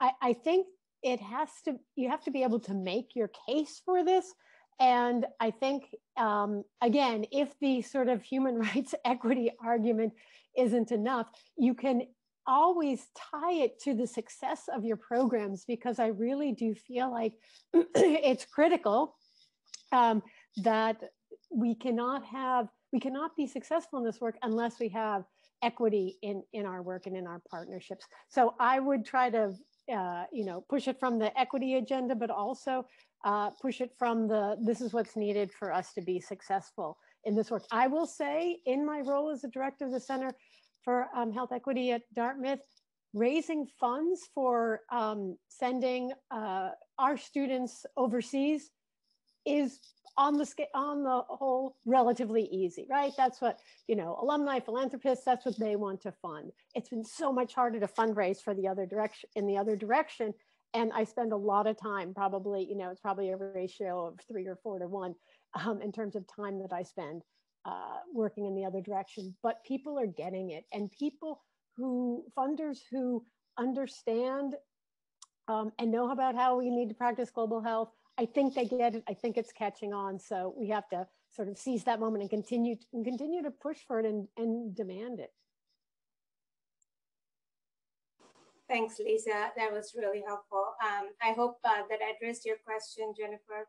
Uh, the next question is for Joia. It's about how can we, the public health research community highlight the importance and need for reparations to target the underlying causes of wealth gap.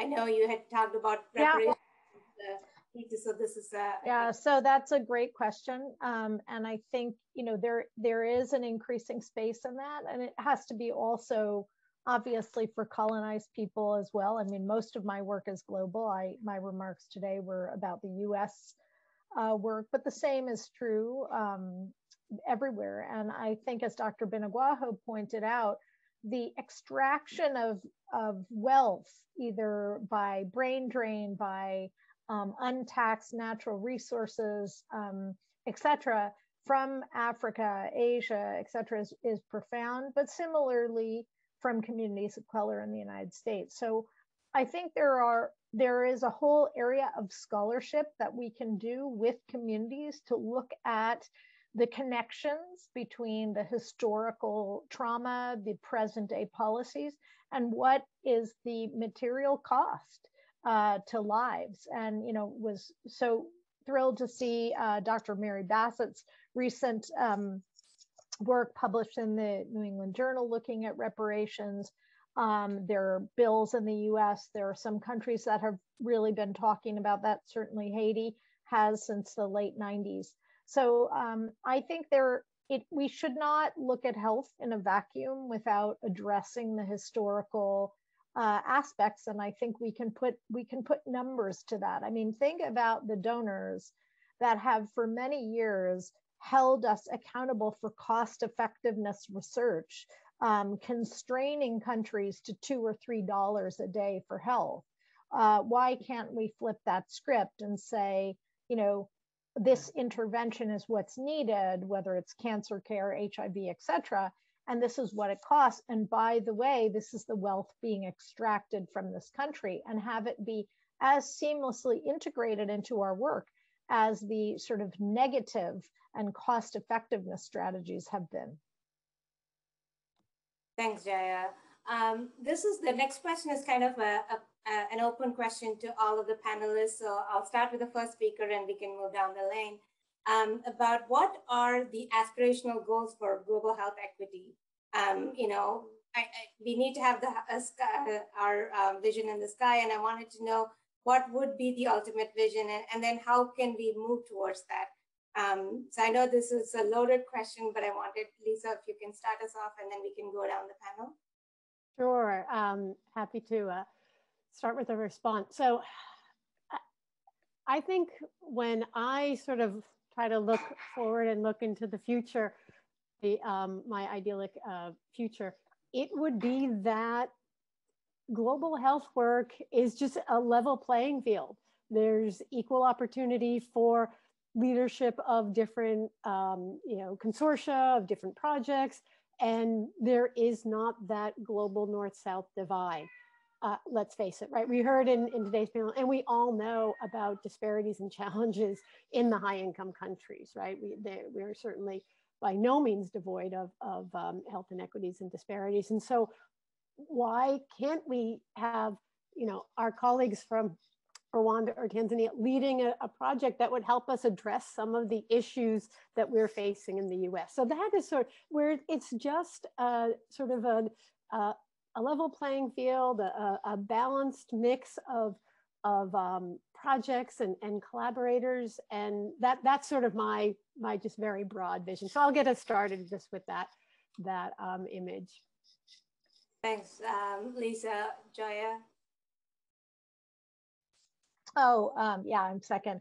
Uh, I would just um, point to also addressing um, health disparities. I mean, I think that when I started 25 years ago, um, being a global health practitioner, there was no care at all in many places.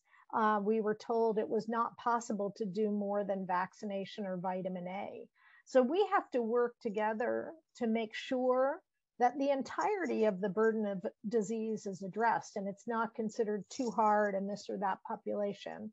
Um, so I think, you know, leading with care and leading with the people who need care, um, I, I want leadership to be um, equitable as well. But I also think, you know, you can have very equitable leadership at the top and you know, people are dying of a broken leg. And so I, I really feel that we have to insist on equity in the care that's um, delivered. And there's no way to do that without a massive transfer of, of wealth. So we have to work on that. Um, I noticed that, thanks Joia, I noticed that Dr. Uh, has joined us. Um, Dr. Binagwaho, the question was the aspirational goal, goal for global health equity. And um, how do we achieve that and what are the barriers to achieving that? So I think that if we want to go for global health equity, we need to focus first on equity. Hmm? Uh, and this should be our the the the flag that that put all of us together. That means regardless what, and also put away all those measurements of cost effectiveness mm-hmm. that are the more insane against human rights ever. You know, mm-hmm. cost effectiveness uh, to, to treat somebody with an handicap is not cost effective. So that means the people who need the most um, health and support are not the one we should treat uh, according all those uh, references. So regardless your gender, your age, your socioeconomic status, your country of origin, uh, uh, health is a human right, is a commodity for nobody. And redistribution of uh, wealth, like uh, Joia says, of course, because, you know, when I say redistribution of wealth, just live in the developing world the wealth they have and they will take care about uh, uh, we, we can redistribute that but there is a need of redistribution of wealth because uh, health is a human right. And when we talk about decolonizing, the, the, the proper of colonization is go and pick somewhere else something that doesn't belong to you. Mm -hmm. It's still ongoing.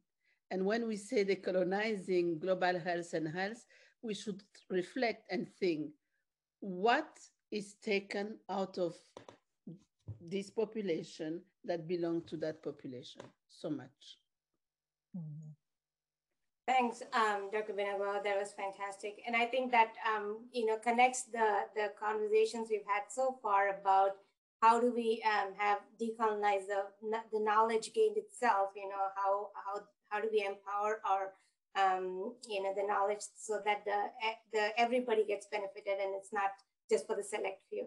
So I just wanted to um, connect. You know what I, I want to tell you also about knowledge uh, uh, the world told me that because I'm Black from a Black country in Africa, I know maybe a third of what somebody from a fancy Western university knows. And it's so wrong.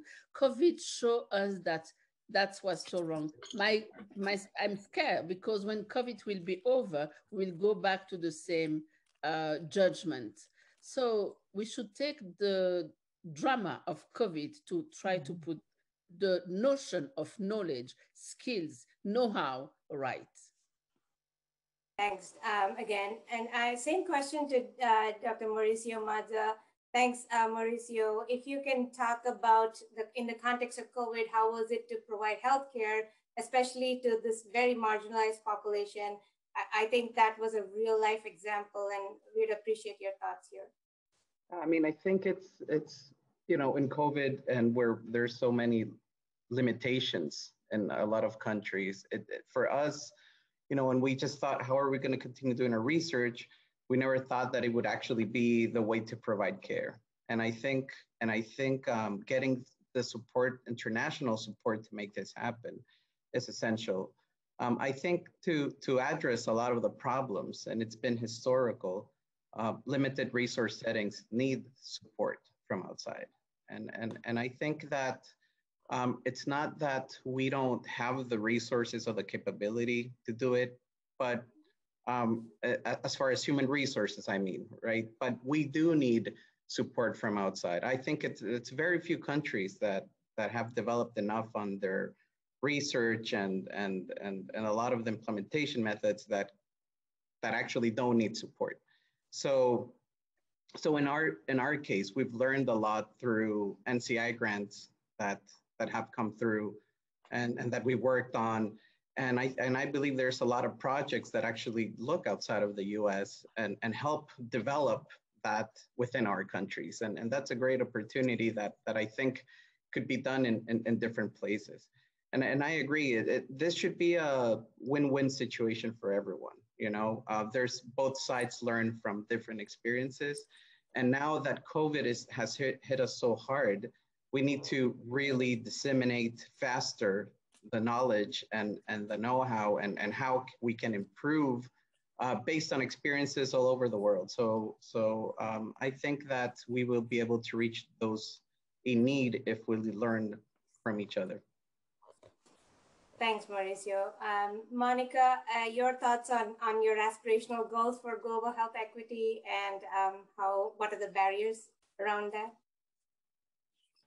Thank you, uh, Vidya. And let me just also thank everyone for participating in this really phenomenal session. I've thoroughly enjoyed the talks also and learned a lot.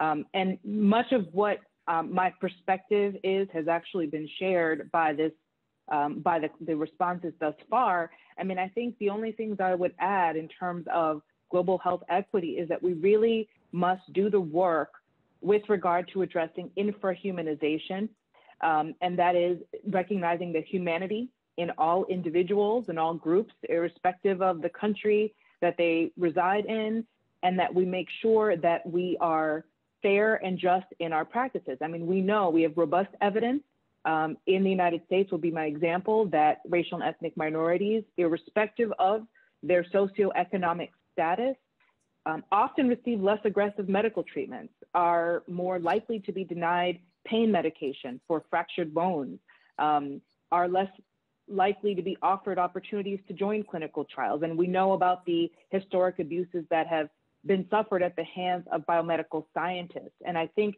you know, other other issues, of course, are that the minoritized communities are just more likely to be seen in lower healthcare settings. I mean, you can think about infant mortality.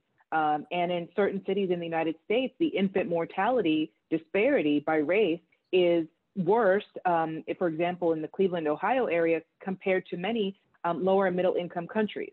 So these are, you know, experiences that and situations that we have to address in a real meaningful way. I think it's important that researchers, that we really diversify the pool of researchers to bring in new and innovative thoughts about how to address these these problems, many of which, you know, I think we we just we haven't studied the, the real root of the issue. And that's a big reason why, in my perspective, from my perspective, we haven't moved the needle in health disparities, advance, you know, sort of closing those gaps or addressing health equity in a real way. Equity work, as we all know, is very difficult if you're doing it, if you're doing it right. Um, and I fully agree that COVID-19, I see it as having um, been the most unfortunate public health crisis of our time, but it has provided this much needed window of opportunity. And I think if we capitalize on this in a in a robust way, that we have an opportunity to see positive change. Thanks.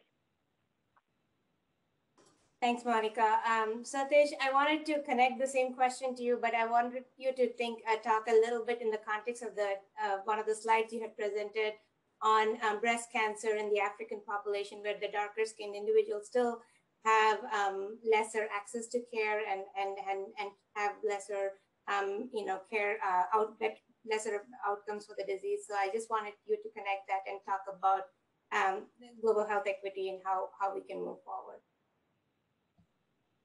Sure. I mean, so I think related to that example specifically, uh, you know, I, uh, this gets to I think Monica's slide about the you know the generations of health disparities research. I think we're still you know, that some of this description of um, different patterns and outcomes across, you know, self-reported racial and ethnic categories within sub-Saharan Africa is still probably first generation uh, disparities mm. research. And so, you know, trying to accelerate progress towards some of the same things that we're thinking about domestically in terms of how do we, um, you know, move to a more intervention-oriented uh, agenda for that space, I think is important um, in, in global settings as well. Thanks, Satish. Um, the next question I wanted to start with Dr. Binagwaho is you had talked about, at least the, uh, with, a, with a really good example from Rwanda on how you were able to um, kind of de develop a model for you know engaging and keeping the context of, of an interest of Rwanda. And I was wondering if there are some lessons learned and examples for you to showcase hmm. for the audience in terms of what we can take um, and, and how this can be adapted to other LMIC settings where they, uh, they do need to work collaboratively with uh, partners from the high income countries, but then bringing it to the context of how that would be adaptable to their local needs. you, you, uh, it is about the Human Resource for Health program? Yes. So uh, the Human Resource for Health program was uh, really um, a benediction uh, just because for the first time, uh, no, normally USAID, let's say, give $100 million to Rwanda, 60% of it remain in the US or uh, another 20, 25% go to NGOs in the US, come to Rwanda, maximum 20%, and then still have to run the car, uh, etc. So what have go to the people is very little the really the people need, need help. And then we we negotiate with uh, the the American administration to manage HIV ourselves as Rwandan because we have learned how to do that, but keep the money to educate educators in Rwanda. That means faculty, educating research, build the National University of Rwanda, uh, using that money, but bringing from the US 100 faculty member, 50% for nurses, 50% for uh, medical education, and among them 50% for academic uh, extra, uh, ex cathedra uh, education, and the others hands-on. So it was absolutely, I'm not going to the detail of this negotiation. It was uh, extraordinary. We had a great support uh, in Washington to do that. It, we will never have done it alone. And um, it worked. And for example, of the result of that now, so we had those uh, 23 um, uh, Institute of Higher Education from the US uh, coming to Rwanda for a long period. Stop those two weeks, three weeks, three days. They are coming really to teach and in depth and helping create curricula, etc. And now the University of Rwanda is capable to educate, uh, before it was less than 100 doctors a, a year, now it is 300. And this also has helped create eight residency and um, and many advantages that go to that. There is still a long way to go. But if we didn't had that and still continue to do business as usual, we will still be at the place where uh, our um, faculty uh, doesn't have uh, the, the training, the adequate training to really run an university correctly. Now it's really um, uh, Rwandan led and of better quality. So the lesson learned from that, if you want to develop a country, develop the country. Don't make sure that the money you give to the country develop Washington, Paris, or London and uh, allow the overhead to be used by the country mm -hmm. to develop themselves and structural development, not surface development. Develop for sustainability and uh, really the people you pretend to help. Can I just add in quickly um, that, you know, one of the, to the question of what can we do in terms of reparations, restitution, um, you know, billions of dollars are spent in trainings, and we all know what those trainings are. You know, people are pulled away from the front lines of care. They sit in a five-star hotel and drink tea. They get a PowerPoint, and they go and they learn nothing, and they have no mentoring, and it, it perpetuates this broken system. And what Dr. Binagwaho did was say, fine, just give us that money, but allow us to use it for long-term training instead of this TOT. I mean, that kind the, the money, it wasn't new money. It wasn't new money. It was just spent money in a way that was going to build the system. And so that's the kind of, and where does that come from? I mean, in my analysis, where that comes from is the 1961 Foreign Assistance Act, which was writ- written during the Cold War when Africa was really, and Latin America, Asia were, you know, uh, a play playground for the Cold War and it was a buy American, force open markets. Uh, you know, that's what our aid is about. So we've got to change that. Um, and so I think it's also trying to understand what money is going for and why. Why do we have this bizarre per diem economy? Well, that actually comes from the United States, it comes from the Cold War, and we need to then deconstruct and dismantle that structure. Thanks, um, Joy. That was really helpful to you know extend what uh, the points made by uh, Dr. Binagwaho. I wanted to ask a, a, similar question to Mauricio because you have you uh, you're working in the LMIC setting, and we wanted to know what your thoughts were in terms of using funds, um, say from NIH and other U.S. agencies in delivering care, and then what are some of the challenges to find the balance between what works what's important to the local context and how you make that happen. Yeah, I mean, I think that the, the, the funding that and, and the mechanisms of grants that we've used, like the UH2 and UH3, um, and uh, are specifically uh, targeted to, to that the outcome is going to help limited uh, income settings, right? So when we see this sort of, and, and like I said before, I think this should be a win-win for both sides. Um, some technologies will pro probably will be just used in LMICs, and some some outcomes of this might be ab able to be used in the U.S. eventually. Um, but I think uh, there's always uh, we have to think positively when when when we have these interactions. I I don't think I've ever been in a situation um, where we feel like we have to do something because this is the sort of the funding that's coming to you. But we've also been very transparent about it since the beginning, right? I don't think we would we would do something based on somebody else's need. It, it, it has to be sort of a win-win. And I think uh, as part of, of, of those different interactions with different organizations, we are just improving, you know, how we actually conduct research. Um, and, and, and, and that's what, there's, there's a lot to gain from that uh, because in some situations, uh, there's a lot of, um, uh, you can learn about uh, and, and, as much as you can learn through reading and do, but until you actually do it you really understand all the difficulties of research. And in a lot of our settings there's not enough of that happening. So having people that do have that experience supporting countries that that are starting to do this right? Keep you know not everyone is going to be used to do a randomized control trial right? And you know people that have that experience how can they show us how to do that because eventually yes that's what we all want to do. We, we all want to have our own infrastructure to then be able to say in order for us to make a specific study that's going to help our population locally you know this is the best thing that we could do. Now that might take a very long time but um, but it's something that has to start somehow. And and and i do believe that having support from from outside and from organizations that have so many knowledge uh, has been extremely helpful. And again, it's just not only for us, but for other countries that have been involved in multi-center studies. So um, I, I, I see a lot uh, of great things that can happen from this sort of collaborations.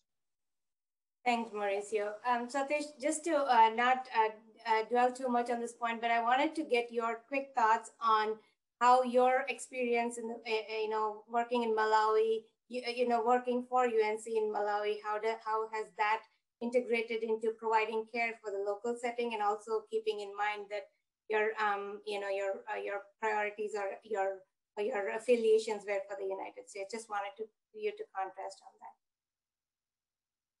Um, yeah, you know, I think we were just um, really focused on trying to um, address the need. You know, we were integrated and we were really, I, I, think everything we did really arose, I think, from this desire to kind of address the specific needs of patients and communities. And so I like I don't consider myself a social scientist or an implementation scientist, but when you're, you know, when you're trying to provide cancer treatment to individuals who've traveled halfway across the country, inevitably you have to try to address some of these, you know, issues. Um, and and again, I think that I think because so you know our scientific energy was really um, centered. You know, we tried really tried to center it within Malawi. I think similar to what others have said on this call. I think that you know then you mold and evolve your program. You know, perhaps in way you know in year one and year in year two and three in a way that maybe you weren't exactly planning when you set it up because you just you know you have a better contextual understanding for what is going to be needed to make the program successful and you know really deliver something of value to the patients and communities that you're serving. So i think that embeddedness learning from experience that, that real contextual which again I, I, admit i'm an oncologist you know i'm like a clinical translational investigator. So i you know but it's you just can't help but engage in some of these broader issues if you're, you know, even to do, uh, you know, admittedly some fairly narrow work in a specific disease area that you're trying to do. So. Thank you, Satish. Uh, Monica, uh, can I hand you the mic for the next question? Sure, sure, happy to. So we'd like to talk a bit about uh, the role of research and also research capacity building in addressing health disparities, promoting health equity, so we'd like to hear the panelists talk a little bit about solutions and your thoughts on actionable steps that can address many of the challenges that have been raised. For instance, the power imbalances in global health research. Um, so if you have any thoughts there, we'd be delighted to hear them. Who'd like to start?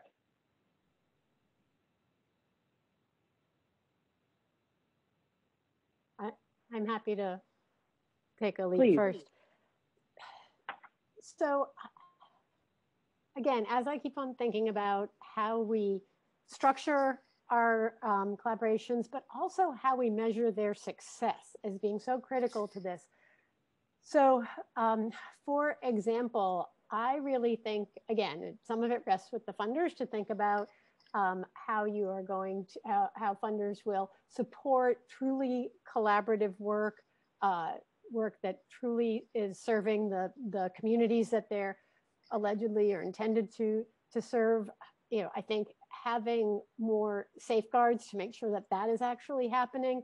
And then, you know, we've talked about other sort of, which seem to me like some low hanging fruit, like it should, should be so obvious that of course, any research that's going to get published is going to get published in open access journals. That should just be, you know, a given. Um, one of the things that we've started to do in our collaborations is not just measure the success by how many publications there are, but how many publications have either a first author or a senior author that is, you know, from the, the um, low income country. Again, to try to say that this is not just about high income country, you know, PhD students, postdocs, junior or even senior faculty sort of um, producing publications for their own CVs, but it, it is really about um, supporting and nurturing. And I, I think too, when Joia is so, speaking so um, importantly about the kind of training that has to happen, I think, and I know this from my own experience, certainly, that so much of the training that I think is really successful is when it's that you know close mentoring that happens mm-hmm. and i feel like if you are going to support someone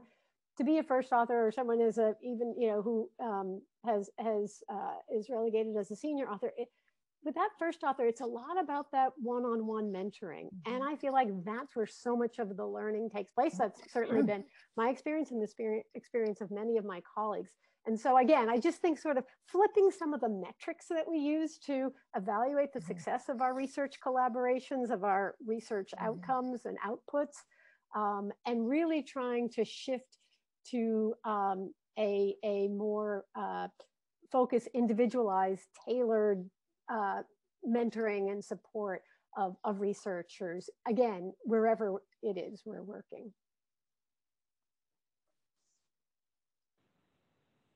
Thank you, Lisa. I appreciate that uh, response very much. Um, the mentorship piece, uh, we all can agree, is critical to um, you know, that's where we have the next generation, the next cadre of scientists who are going to carry this forward with the freshest ideas. Um, and that, that mentoring is critical. Um, other thoughts about research capacity building is, and uh, shifting the power balances.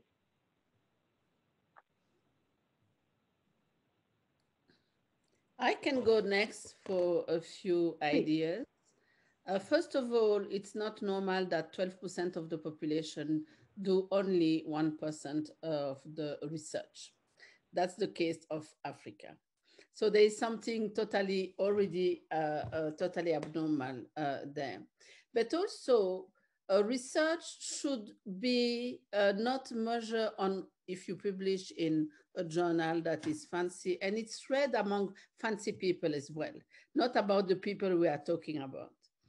How many lives did we save? How many policy did we change? Because this is the true meaning of a research is to improve the life of people. And the way we measure the outcome of a research and publication is how many people that are looking like you read you.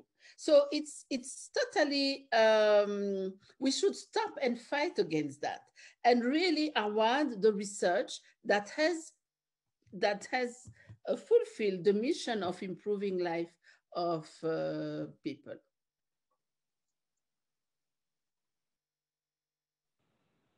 Thank and you. Also, you know, uh, on that. Journal are another business that we are all contributing to on the back again of the people who died. Yeah. Yeah, You're I right. Guess, I mean, uh, we, oh, we, go ahead. Sorry. No, I'm just going to simply, I would love to hear what you have to say, but just to say that, you know, I can um, appreciate those sentiments very much. And that the, we always have to keep in mind that there are people behind the research, behind the numbers, behind the data, and that's the reason that we should be doing this. It's not simply about advancing one's career, how many publications you have in the highest impact journal. Um, certainly, um, if you haven't helped anyone, then you know you have to be be thinking about about that. Please, Joia.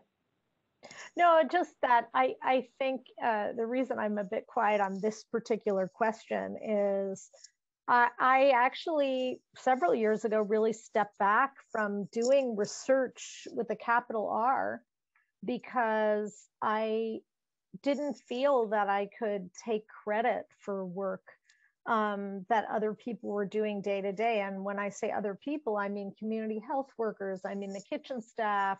And it just gave me, um, you know, a fair amount of uh, feeling of sort of guilt that even in writing research, who are we sort of focusing on and what say do they really have in the work? And yet that has mean meant you know i didn't get promoted at harvard so i think there's lots of you know complexities there are people who are more aggressive seeking out their career path and they do better in our american framework um, and so that is a real challenge that is a real challenge and what's uh, Joia is terrible because all the friends i have who have done great by developing the capacity in, the, in this part of the world are those who are not promoted in Harvard because they spend too much time with us. Yeah. And in the end, they have saved so many more lives. They have done so many mm-hmm. mindful research to do how to use already the existing things and also to promote new uh, innovation uh, in health.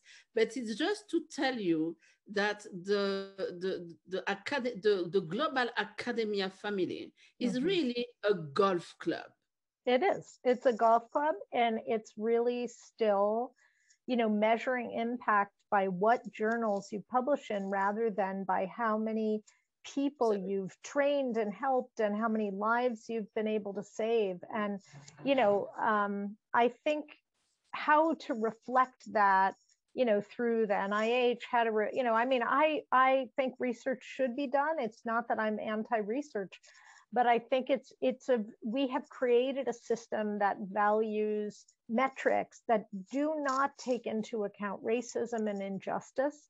Um, and i think that's a big problem Thanks, Joy and um, Dr. Binagwaho.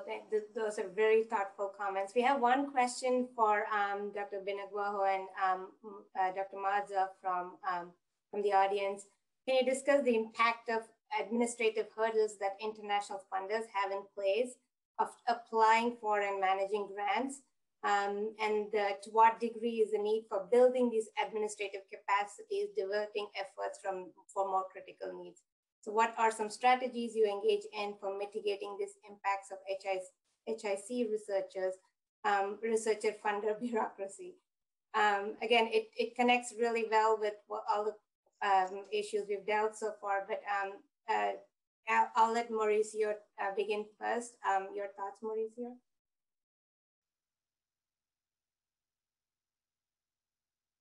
Oh, sorry, I was muted.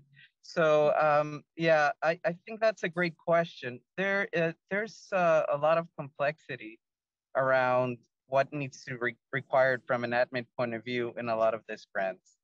And, and I will, uh, I, I, recall uh, a, a, great colleague of ours, uh, Silvina Arrossi, and she received an R01 for cervical cancer implementation research.